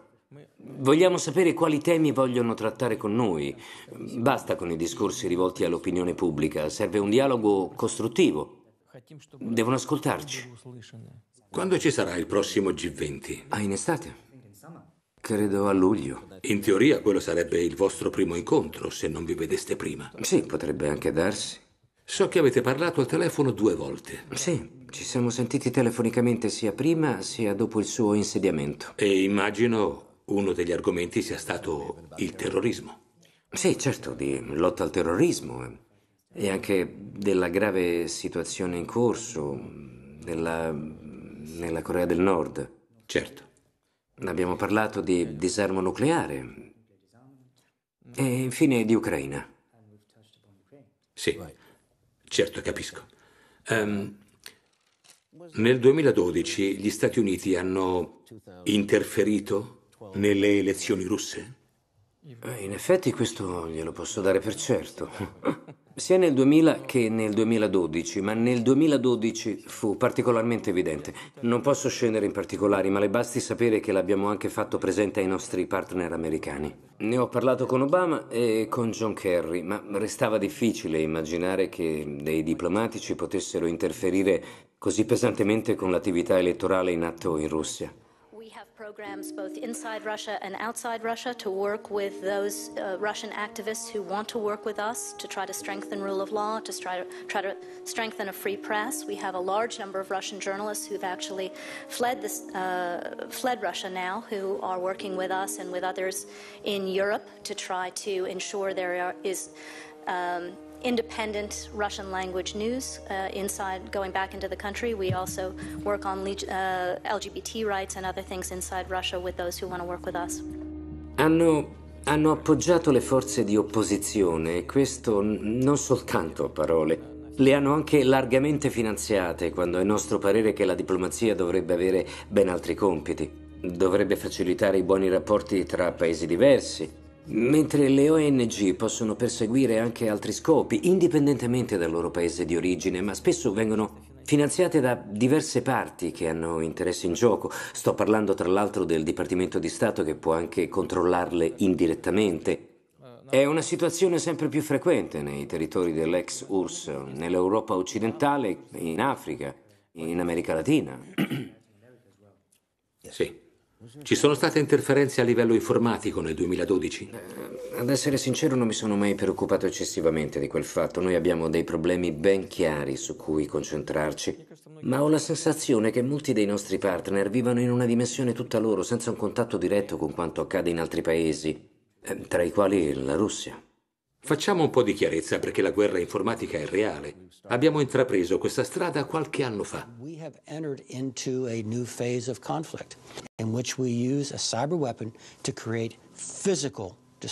Nel mio film su Snowden mostriamo una cosa molto interessante mentre lui si trova in Giappone. NSA wanted to impress the Japanese, show them our reach. They were not as thrilled to learn that we wanted them to help us spy on the Japanese population. They said it was against their laws. Of course, we tapped the entire country anyway. And we didn't stop there. Once we owned their communication system, we started going after their physical infrastructure. We'd slip these little sleeper programs into power grids, dams, hospitals, and the idea was if the day came when Japan was no longer an ally, it'd be lights out. And it wasn't just the Japanese. We were planning malware in Mexico, Germany, Brazil, Austria. I mean, China, I can understand, or Russia, or Iran, or Venezuela, okay, but Austria? You're also being ordered to follow most world leaders and heads of industry. You know, you're tracking trade deals, sex scandals, diplomatic cables to give the U.S. an advantage in negotiations at the G8, or leverage over Brazilian oil companies, or helping to oust some third world leader who's not playing ball. And ultimately, the truth sinks in that no matter what justification you're selling yourself, this is not about terrorism. Terrorism is the excuse. This is about economic and social control. And the only thing you're really protecting is the supremacy of your government.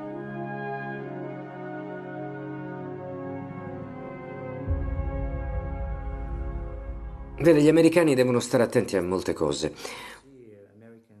e devono lavorare in ogni campo. I 600 miliardi di dollari spesi dal Pentagono non sono solo soldi spesi sulla sicurezza o sulla difesa. Diciamo che l'America ha messo dei malware nelle infrastrutture giapponesi per distruggere centrali elettriche, ferrovie, per creare un blackout. La Russia è parecchi passi davanti a me e avrà capito il pericolo che corre, quindi avrà già messo in atto un piano per evitare che questo possa accadere in Russia, visto che sarebbe uno dei nemici più ovvi per gli Stati Uniti. Probabilmente lei non mi crederà, ma adesso dirò qualcosa che potrà sembrarle strano. Fin dai primi anni 90 del secolo scorso, noi abbiamo considerato chiusa mm, la guerra fredda. Di conseguenza abbiamo anche considerato superflua qualunque nuova misura protettiva, perché ormai ci, ci consideravamo parte integrante della comunità internazionale. Non avevamo nulla che producevamo internamente. Le nostre industrie più importanti, i ministeri e le compagnie governative, compravano tutto all'estero. Le parlo di hardware e di software. Per la maggior parte stiamo ovviamente parlando di prodotti americani, che abbiamo utilizzato anche nella difesa. Solo recentemente ci siamo resi conto della minaccia che questo rappresentava e abbiamo iniziato a pensare a come assicurarci l'indipendenza tecnologica salvaguardando così la nostra sicurezza interna e a quel punto abbiamo iniziato a prendere tutte le misure necessarie. Va bene. Questo è un discorso che Snowden ha fatto nel 2007 e 2008 e ha detto che il bersaglio erano gli alleati, che era il Giappone. Se stanno usando dei malware contro gli alleati, allora vi chiedo cosa stanno facendo con paesi come la Cina, la Russia, l'Iran e così via. Insomma, Capisce quello che intendo? La Russia doveva sapere per forza che l'America stava usando dei malware contro i suoi alleati già nel 2007. Gli Stati Uniti non lo ammettono, ma si sa che nel 2010 siamo riusciti a far entrare il virus Stuxnet in Iran. Ascolti, noi lo sappiamo benissimo. Nell'autunno del 2010 si credeva che l'obiettivo fosse la struttura segreta iraniana più importante per l'arricchimento dell'uranio a Natanz e che lo Stuxnet fosse un'arma costruita attentamente e progettata per entrare nella struttura, distruggendo portatili e pennette USB e per infettare il sistema. Nasconde la sua presenza, si muove attraverso la rete cambiando i codici dei computer e cambiando la velocità delle centrifughe, tenendo all'oscuro gli iraniani. Un sabotaggio informatico. Ci sono stati degli attacchi contro la Russia nel 2007 o negli anni precedenti? Ma per noi allora non rappresentava un problema. Le nostre centrali atomiche e gli impianti che producevano testate nucleari accoglievano continuamente osservatori americani. Sì, certo. Questo è successo in che anno? Ma credo sia durato fino, fino al 2006, ma non ricordo esattamente. Ad ogni modo si trattò di un'apertura senza Certo. precedenti. E poi cos'è successo? Ma per gli Stati Uniti la cosa non sembrò avere nessun valore. La Russia quando ha sviluppato le sue capacità informatiche? Ah, oh, come comprenderà, si è trattato di un processo molto lungo. Abbiamo dovuto recuperare tutto il tempo perduto e non è stato facile. Fortunatamente non partivamo certo da zero. Abbiamo ottime università e ottime facoltà di matematica. Abbiamo investito fino a 7 miliardi di dollari all'anno nel settore, che adesso è diventato molto competitivo anche a livello internazionale. Non solo nel software, ma anche nell'hardware e anche nei supercomputer. Io credo che la Russia stia combattendo una battaglia contro gli Stati Uniti, una battaglia segreta, una guerra informatica. Credo che gli Stati Uniti cerchino di fare qualcosa contro la Russia e che la Russia cerchi di difendersi e che poi contrattacchi. Vede, quando c'è un'azione c'è sempre una reazione. Si comporta in modo strano riguardo a questa faccenda, come se fosse un po' colpevole. Sembra una volpe che è appena uscita da un pollaio. No, ormai non ci sono più galline indifese.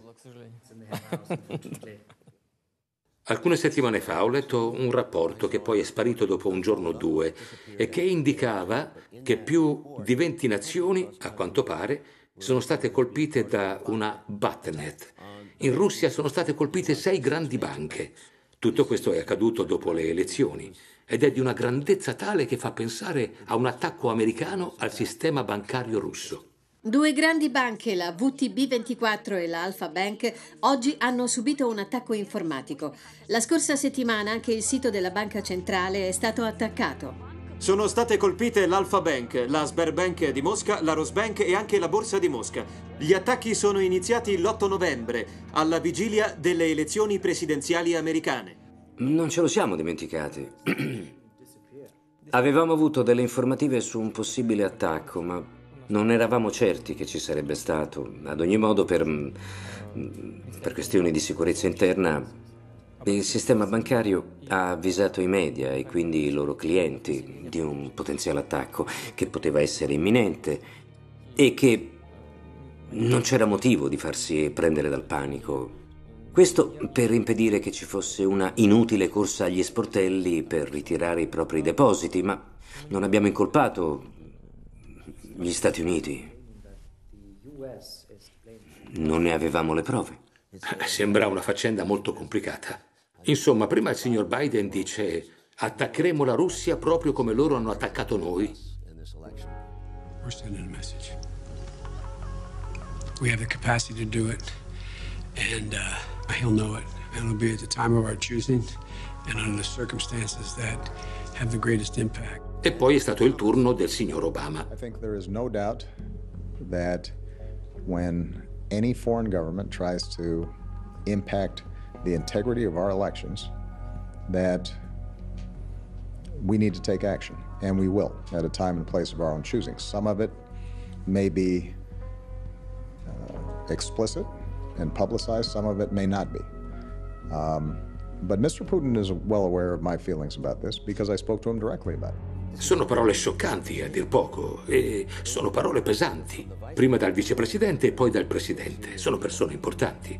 Quindi qualcosa è successo prima delle nostre elezioni. Hanno detto entrambi mh, quando sarà ora, ma il tempo era, era- era ormai scaduto per quell'amministrazione.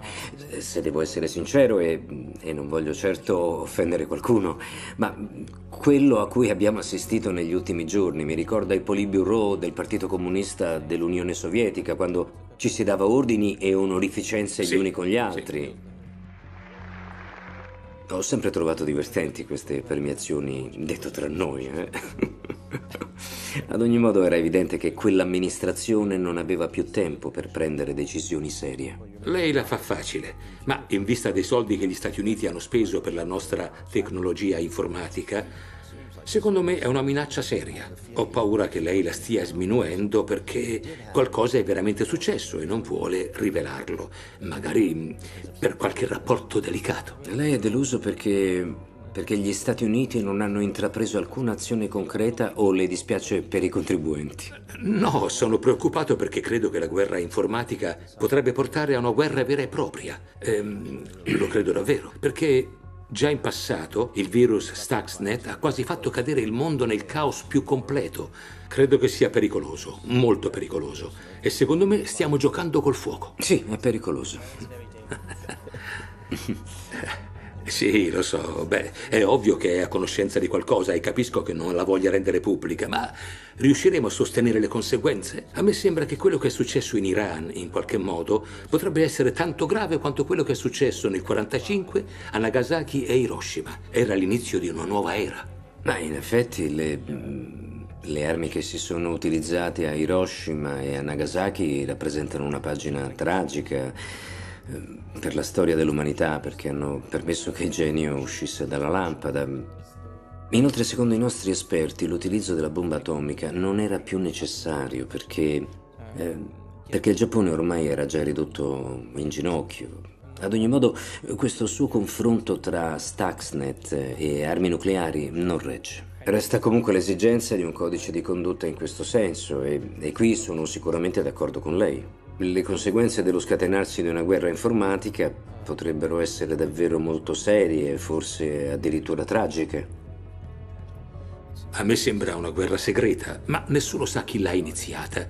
Nessuno sa se è stata una nazione a intermediare, se è stata la Corea del Nord ad attaccare la Sony.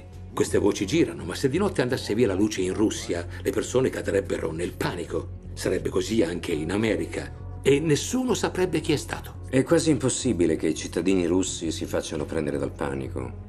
Oh, oh, oh, oh. Questa è la prima cosa che ci tenevo a dire. E la seconda è che le economie più avanzate tecnologicamente sono quelle maggiormente a rischio, ma resta in ogni caso la pericolosità di un fenomeno che avrebbe bisogno di essere inquadrato entro regole più stringenti. Non, certo. non possiamo continuare a far finta di niente. Io con questo non voglio... Un trattato. No, non è proprio così. È lei che sta cercando di farmi dire delle cose che io non voglio dire. Circa due anni fa, nell'autunno del 2015, abbiamo proposto una sorta di accordo quadro alla controparte americana, approfondire l'argomento e redigere una sorta di codice di, di comportamento. L'idea era di arrivare a delle regole, ma gli americani non, non hanno risposto ignorando la nostra proposta. Questo è un argomento di cui possono parlare il signor Trump e il signor Putin. Siamo sicuramente pronti ad aprire una nuova pagina nelle relazioni russo-americane.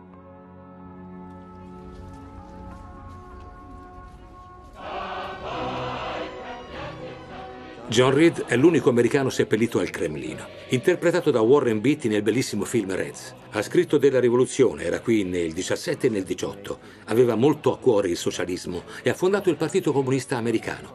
Non era assolutamente una cosa negativa perché era molto idealista ed era composto da lavoratori che in America facevano molti scioperi e c'era molta resistenza da parte delle aziende e da moltissime persone è considerato un eroe.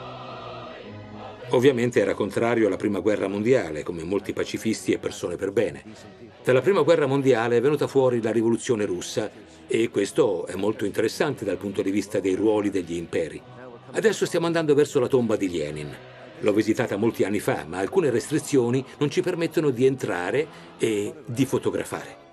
A proposito della tomba di Lenin, un fatto interessante è che l'anno prossimo sarà il centenario della rivoluzione che è stato un grande evento, e molte persone adorano Lenin.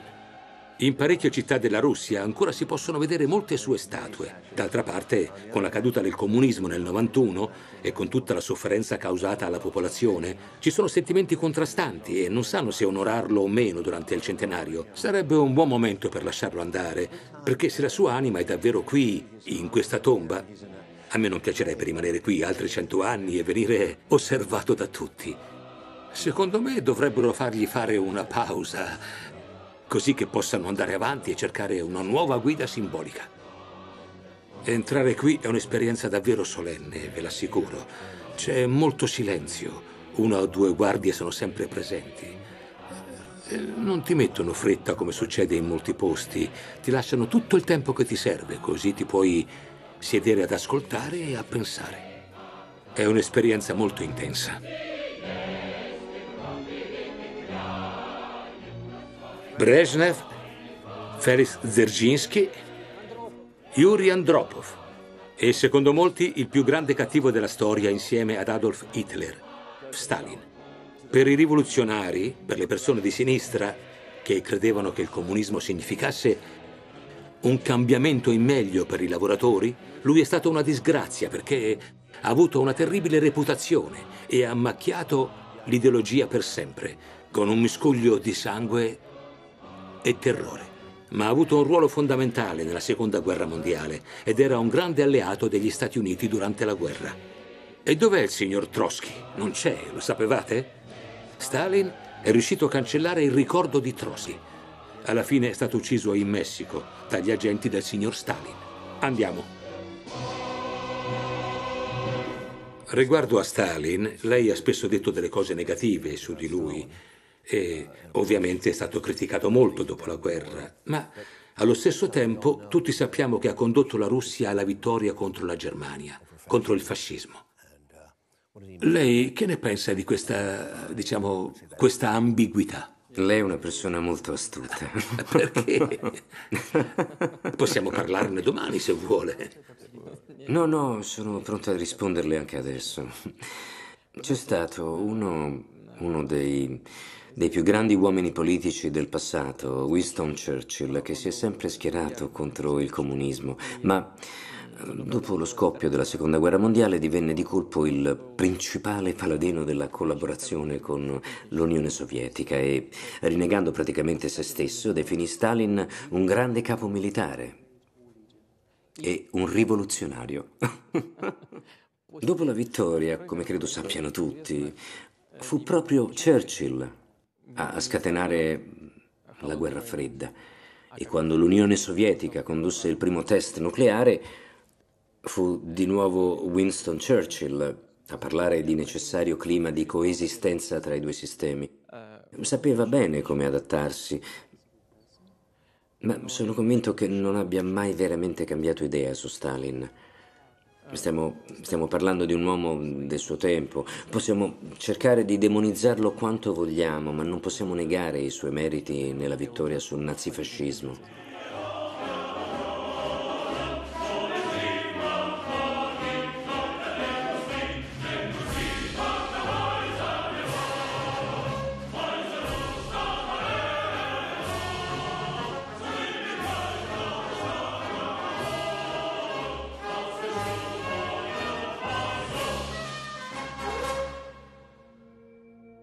Quanto alla demonizzazione, pensiamo a un personaggio come Oliver Cromwell, un essere sanguinario arrivato al potere cavalcando una rivoluzione e che si è poi trasformato in un vero tiranno. Eppure ehm, ci sono monumenti che lo ricordano in tutta la Gran Bretagna. Napoleone è ancora idolatrato.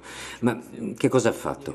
Ha sfruttato anche lui una rivoluzione per arrivare al potere e poi autoproclamarsi addirittura imperatore, mm, conducendo la Francia alla catastrofe, non solo militare. Credo che personaggi del genere ce ne siano stati fin troppi nella storia, ma io sono convinto che l'eccessiva demonizzazione di Stalin sia solo l'ennesimo modo per, per attaccare l'Unione Sovietica e quindi anche la Russia e per dimostrare che la Russia di oggi trova le sue origini nello stalinismo e in quanto di peggio rappresenta. Ovviamente non possiamo rinnegare le nostre origini. Sono d'accordo. Sarebbe impossibile. Quello che dico è che la Russia è cambiata moltissimo, al punto da essere diventata un altro paese. Forse è rimasto qualcosa nella nostra mentalità, ma questo mm, non significa che, che si possa o si debba dimenticare le atrocità commesse in quel periodo, la morte di milioni di compatrioti uccisi pretestuosamente, i campi di concentramento. Queste sono, sono cose da, da non dimenticare. Suo padre e sua madre lo ammiravano, giusto? Sì, certamente, moltissimo. Credo che la stragrande maggioranza dei russi nutrisse una grandissima ammirazione per lui.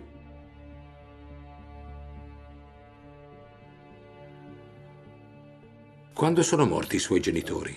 Ah, mia madre è morta nel 98 e mio padre l'anno dopo, sì. Erano orgogliosi di lei?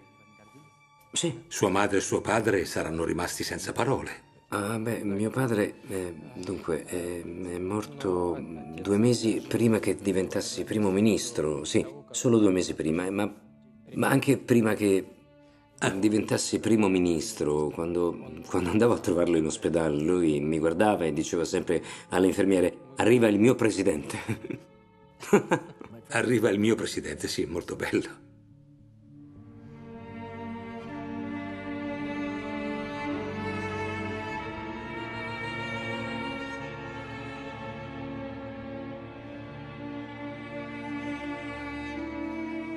Gli Stati Uniti, in pratica, la accusano di aver creato un sistema centralizzato e autoritario.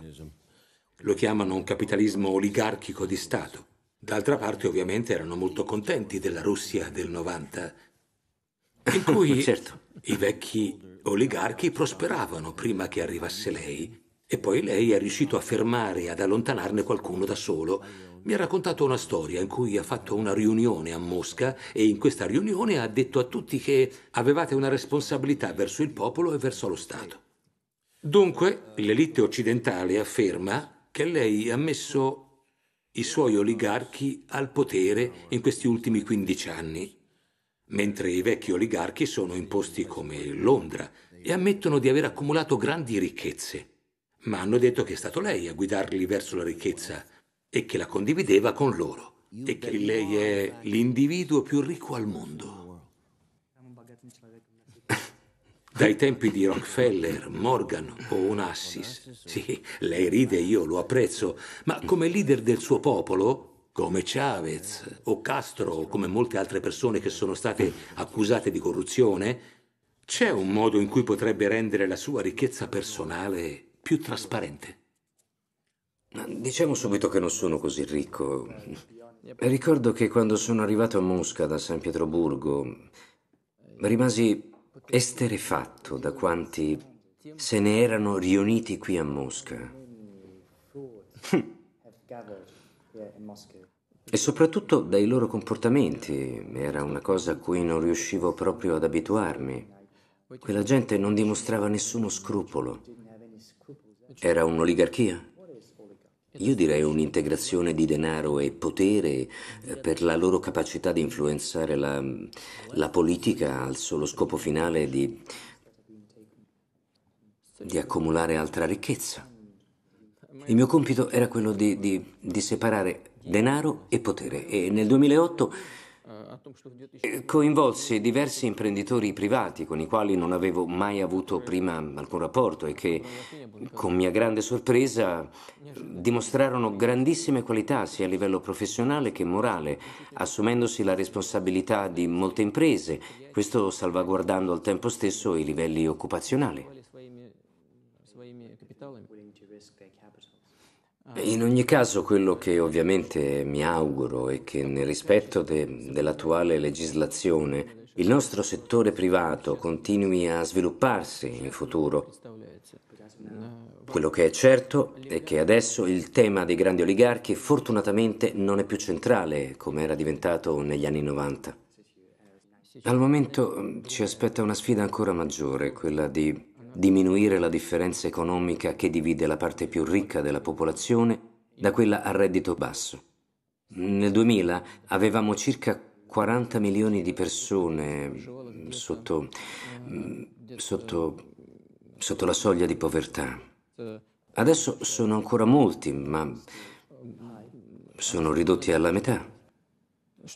Per quello che riguarda gli oligarchi ormai non rappresentano più un vero problema per noi. Quindi non c'è nessun conto in banca a Cipro? No, non c'è mai stato in realtà. Ce lo siamo immaginato. Davvero, non c'è mai stato.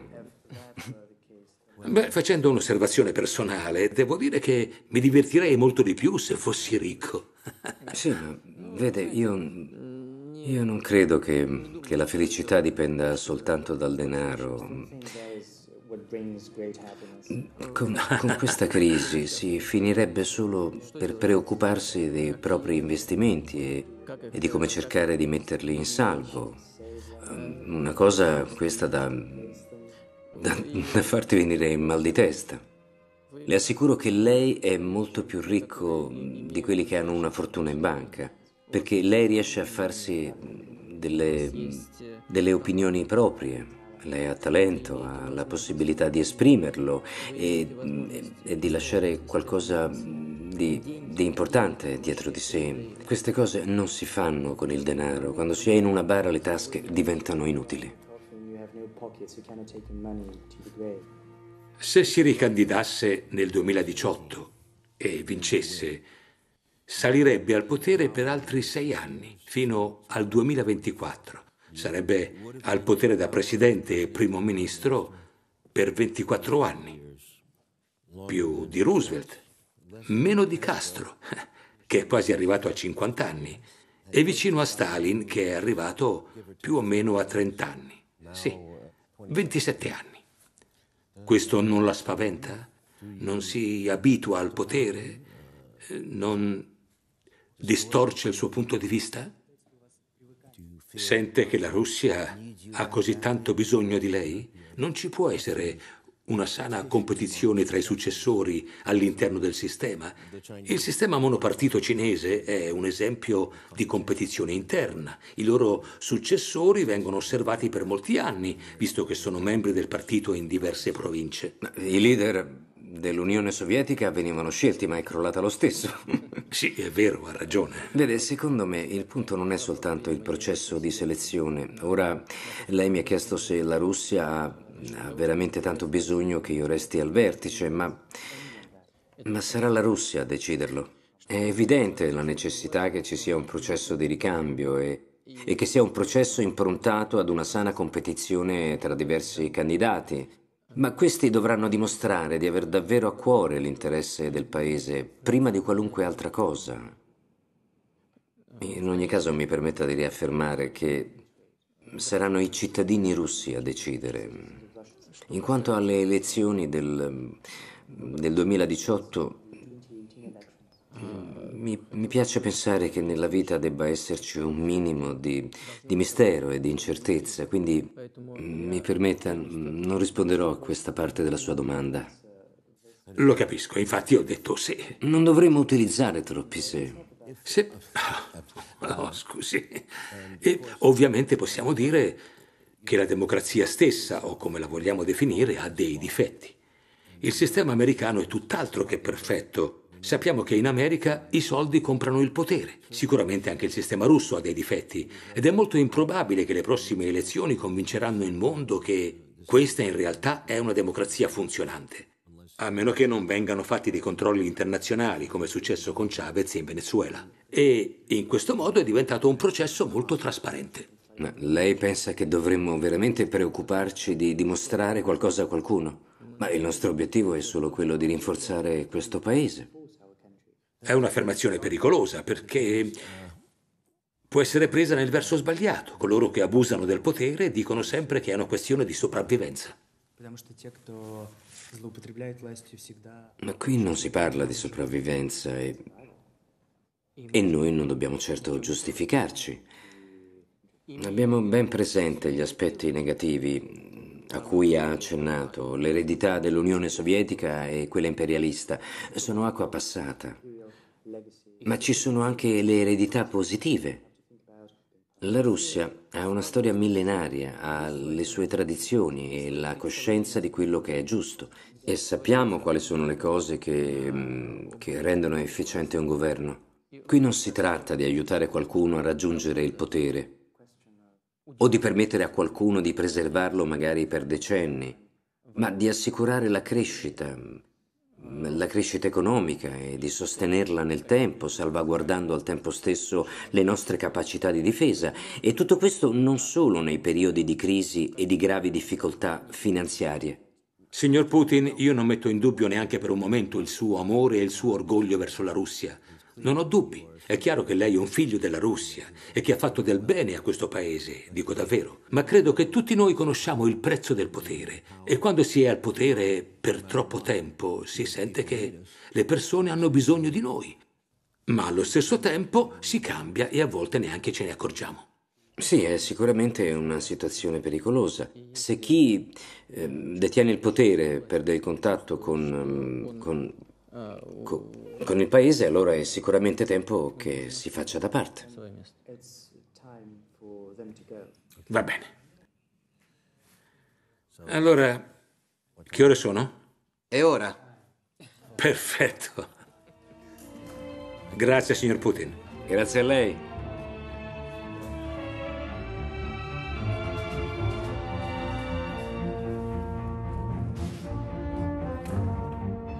Grazie. Costa? eh? Grazie. Grazie a lei, è stato un vero piacere, grazie. Grazie per il suo tempo e per le sue interessanti domande. Ah, si figuri. Senta, ma lei è mai stato picchiato? Picchiato? mai? Ah, sì, sì, mi è capitato. Eh, allora non sarà una cosa nuova quando la picchieranno per aver fatto queste interviste. Oh, certo, sì, lo so. Lo so, ma ne vale la pena. Ne vale la pena se porta conoscenza e pace nel mondo. Grazie ancora. Grazie. Eh, Grazie, signora.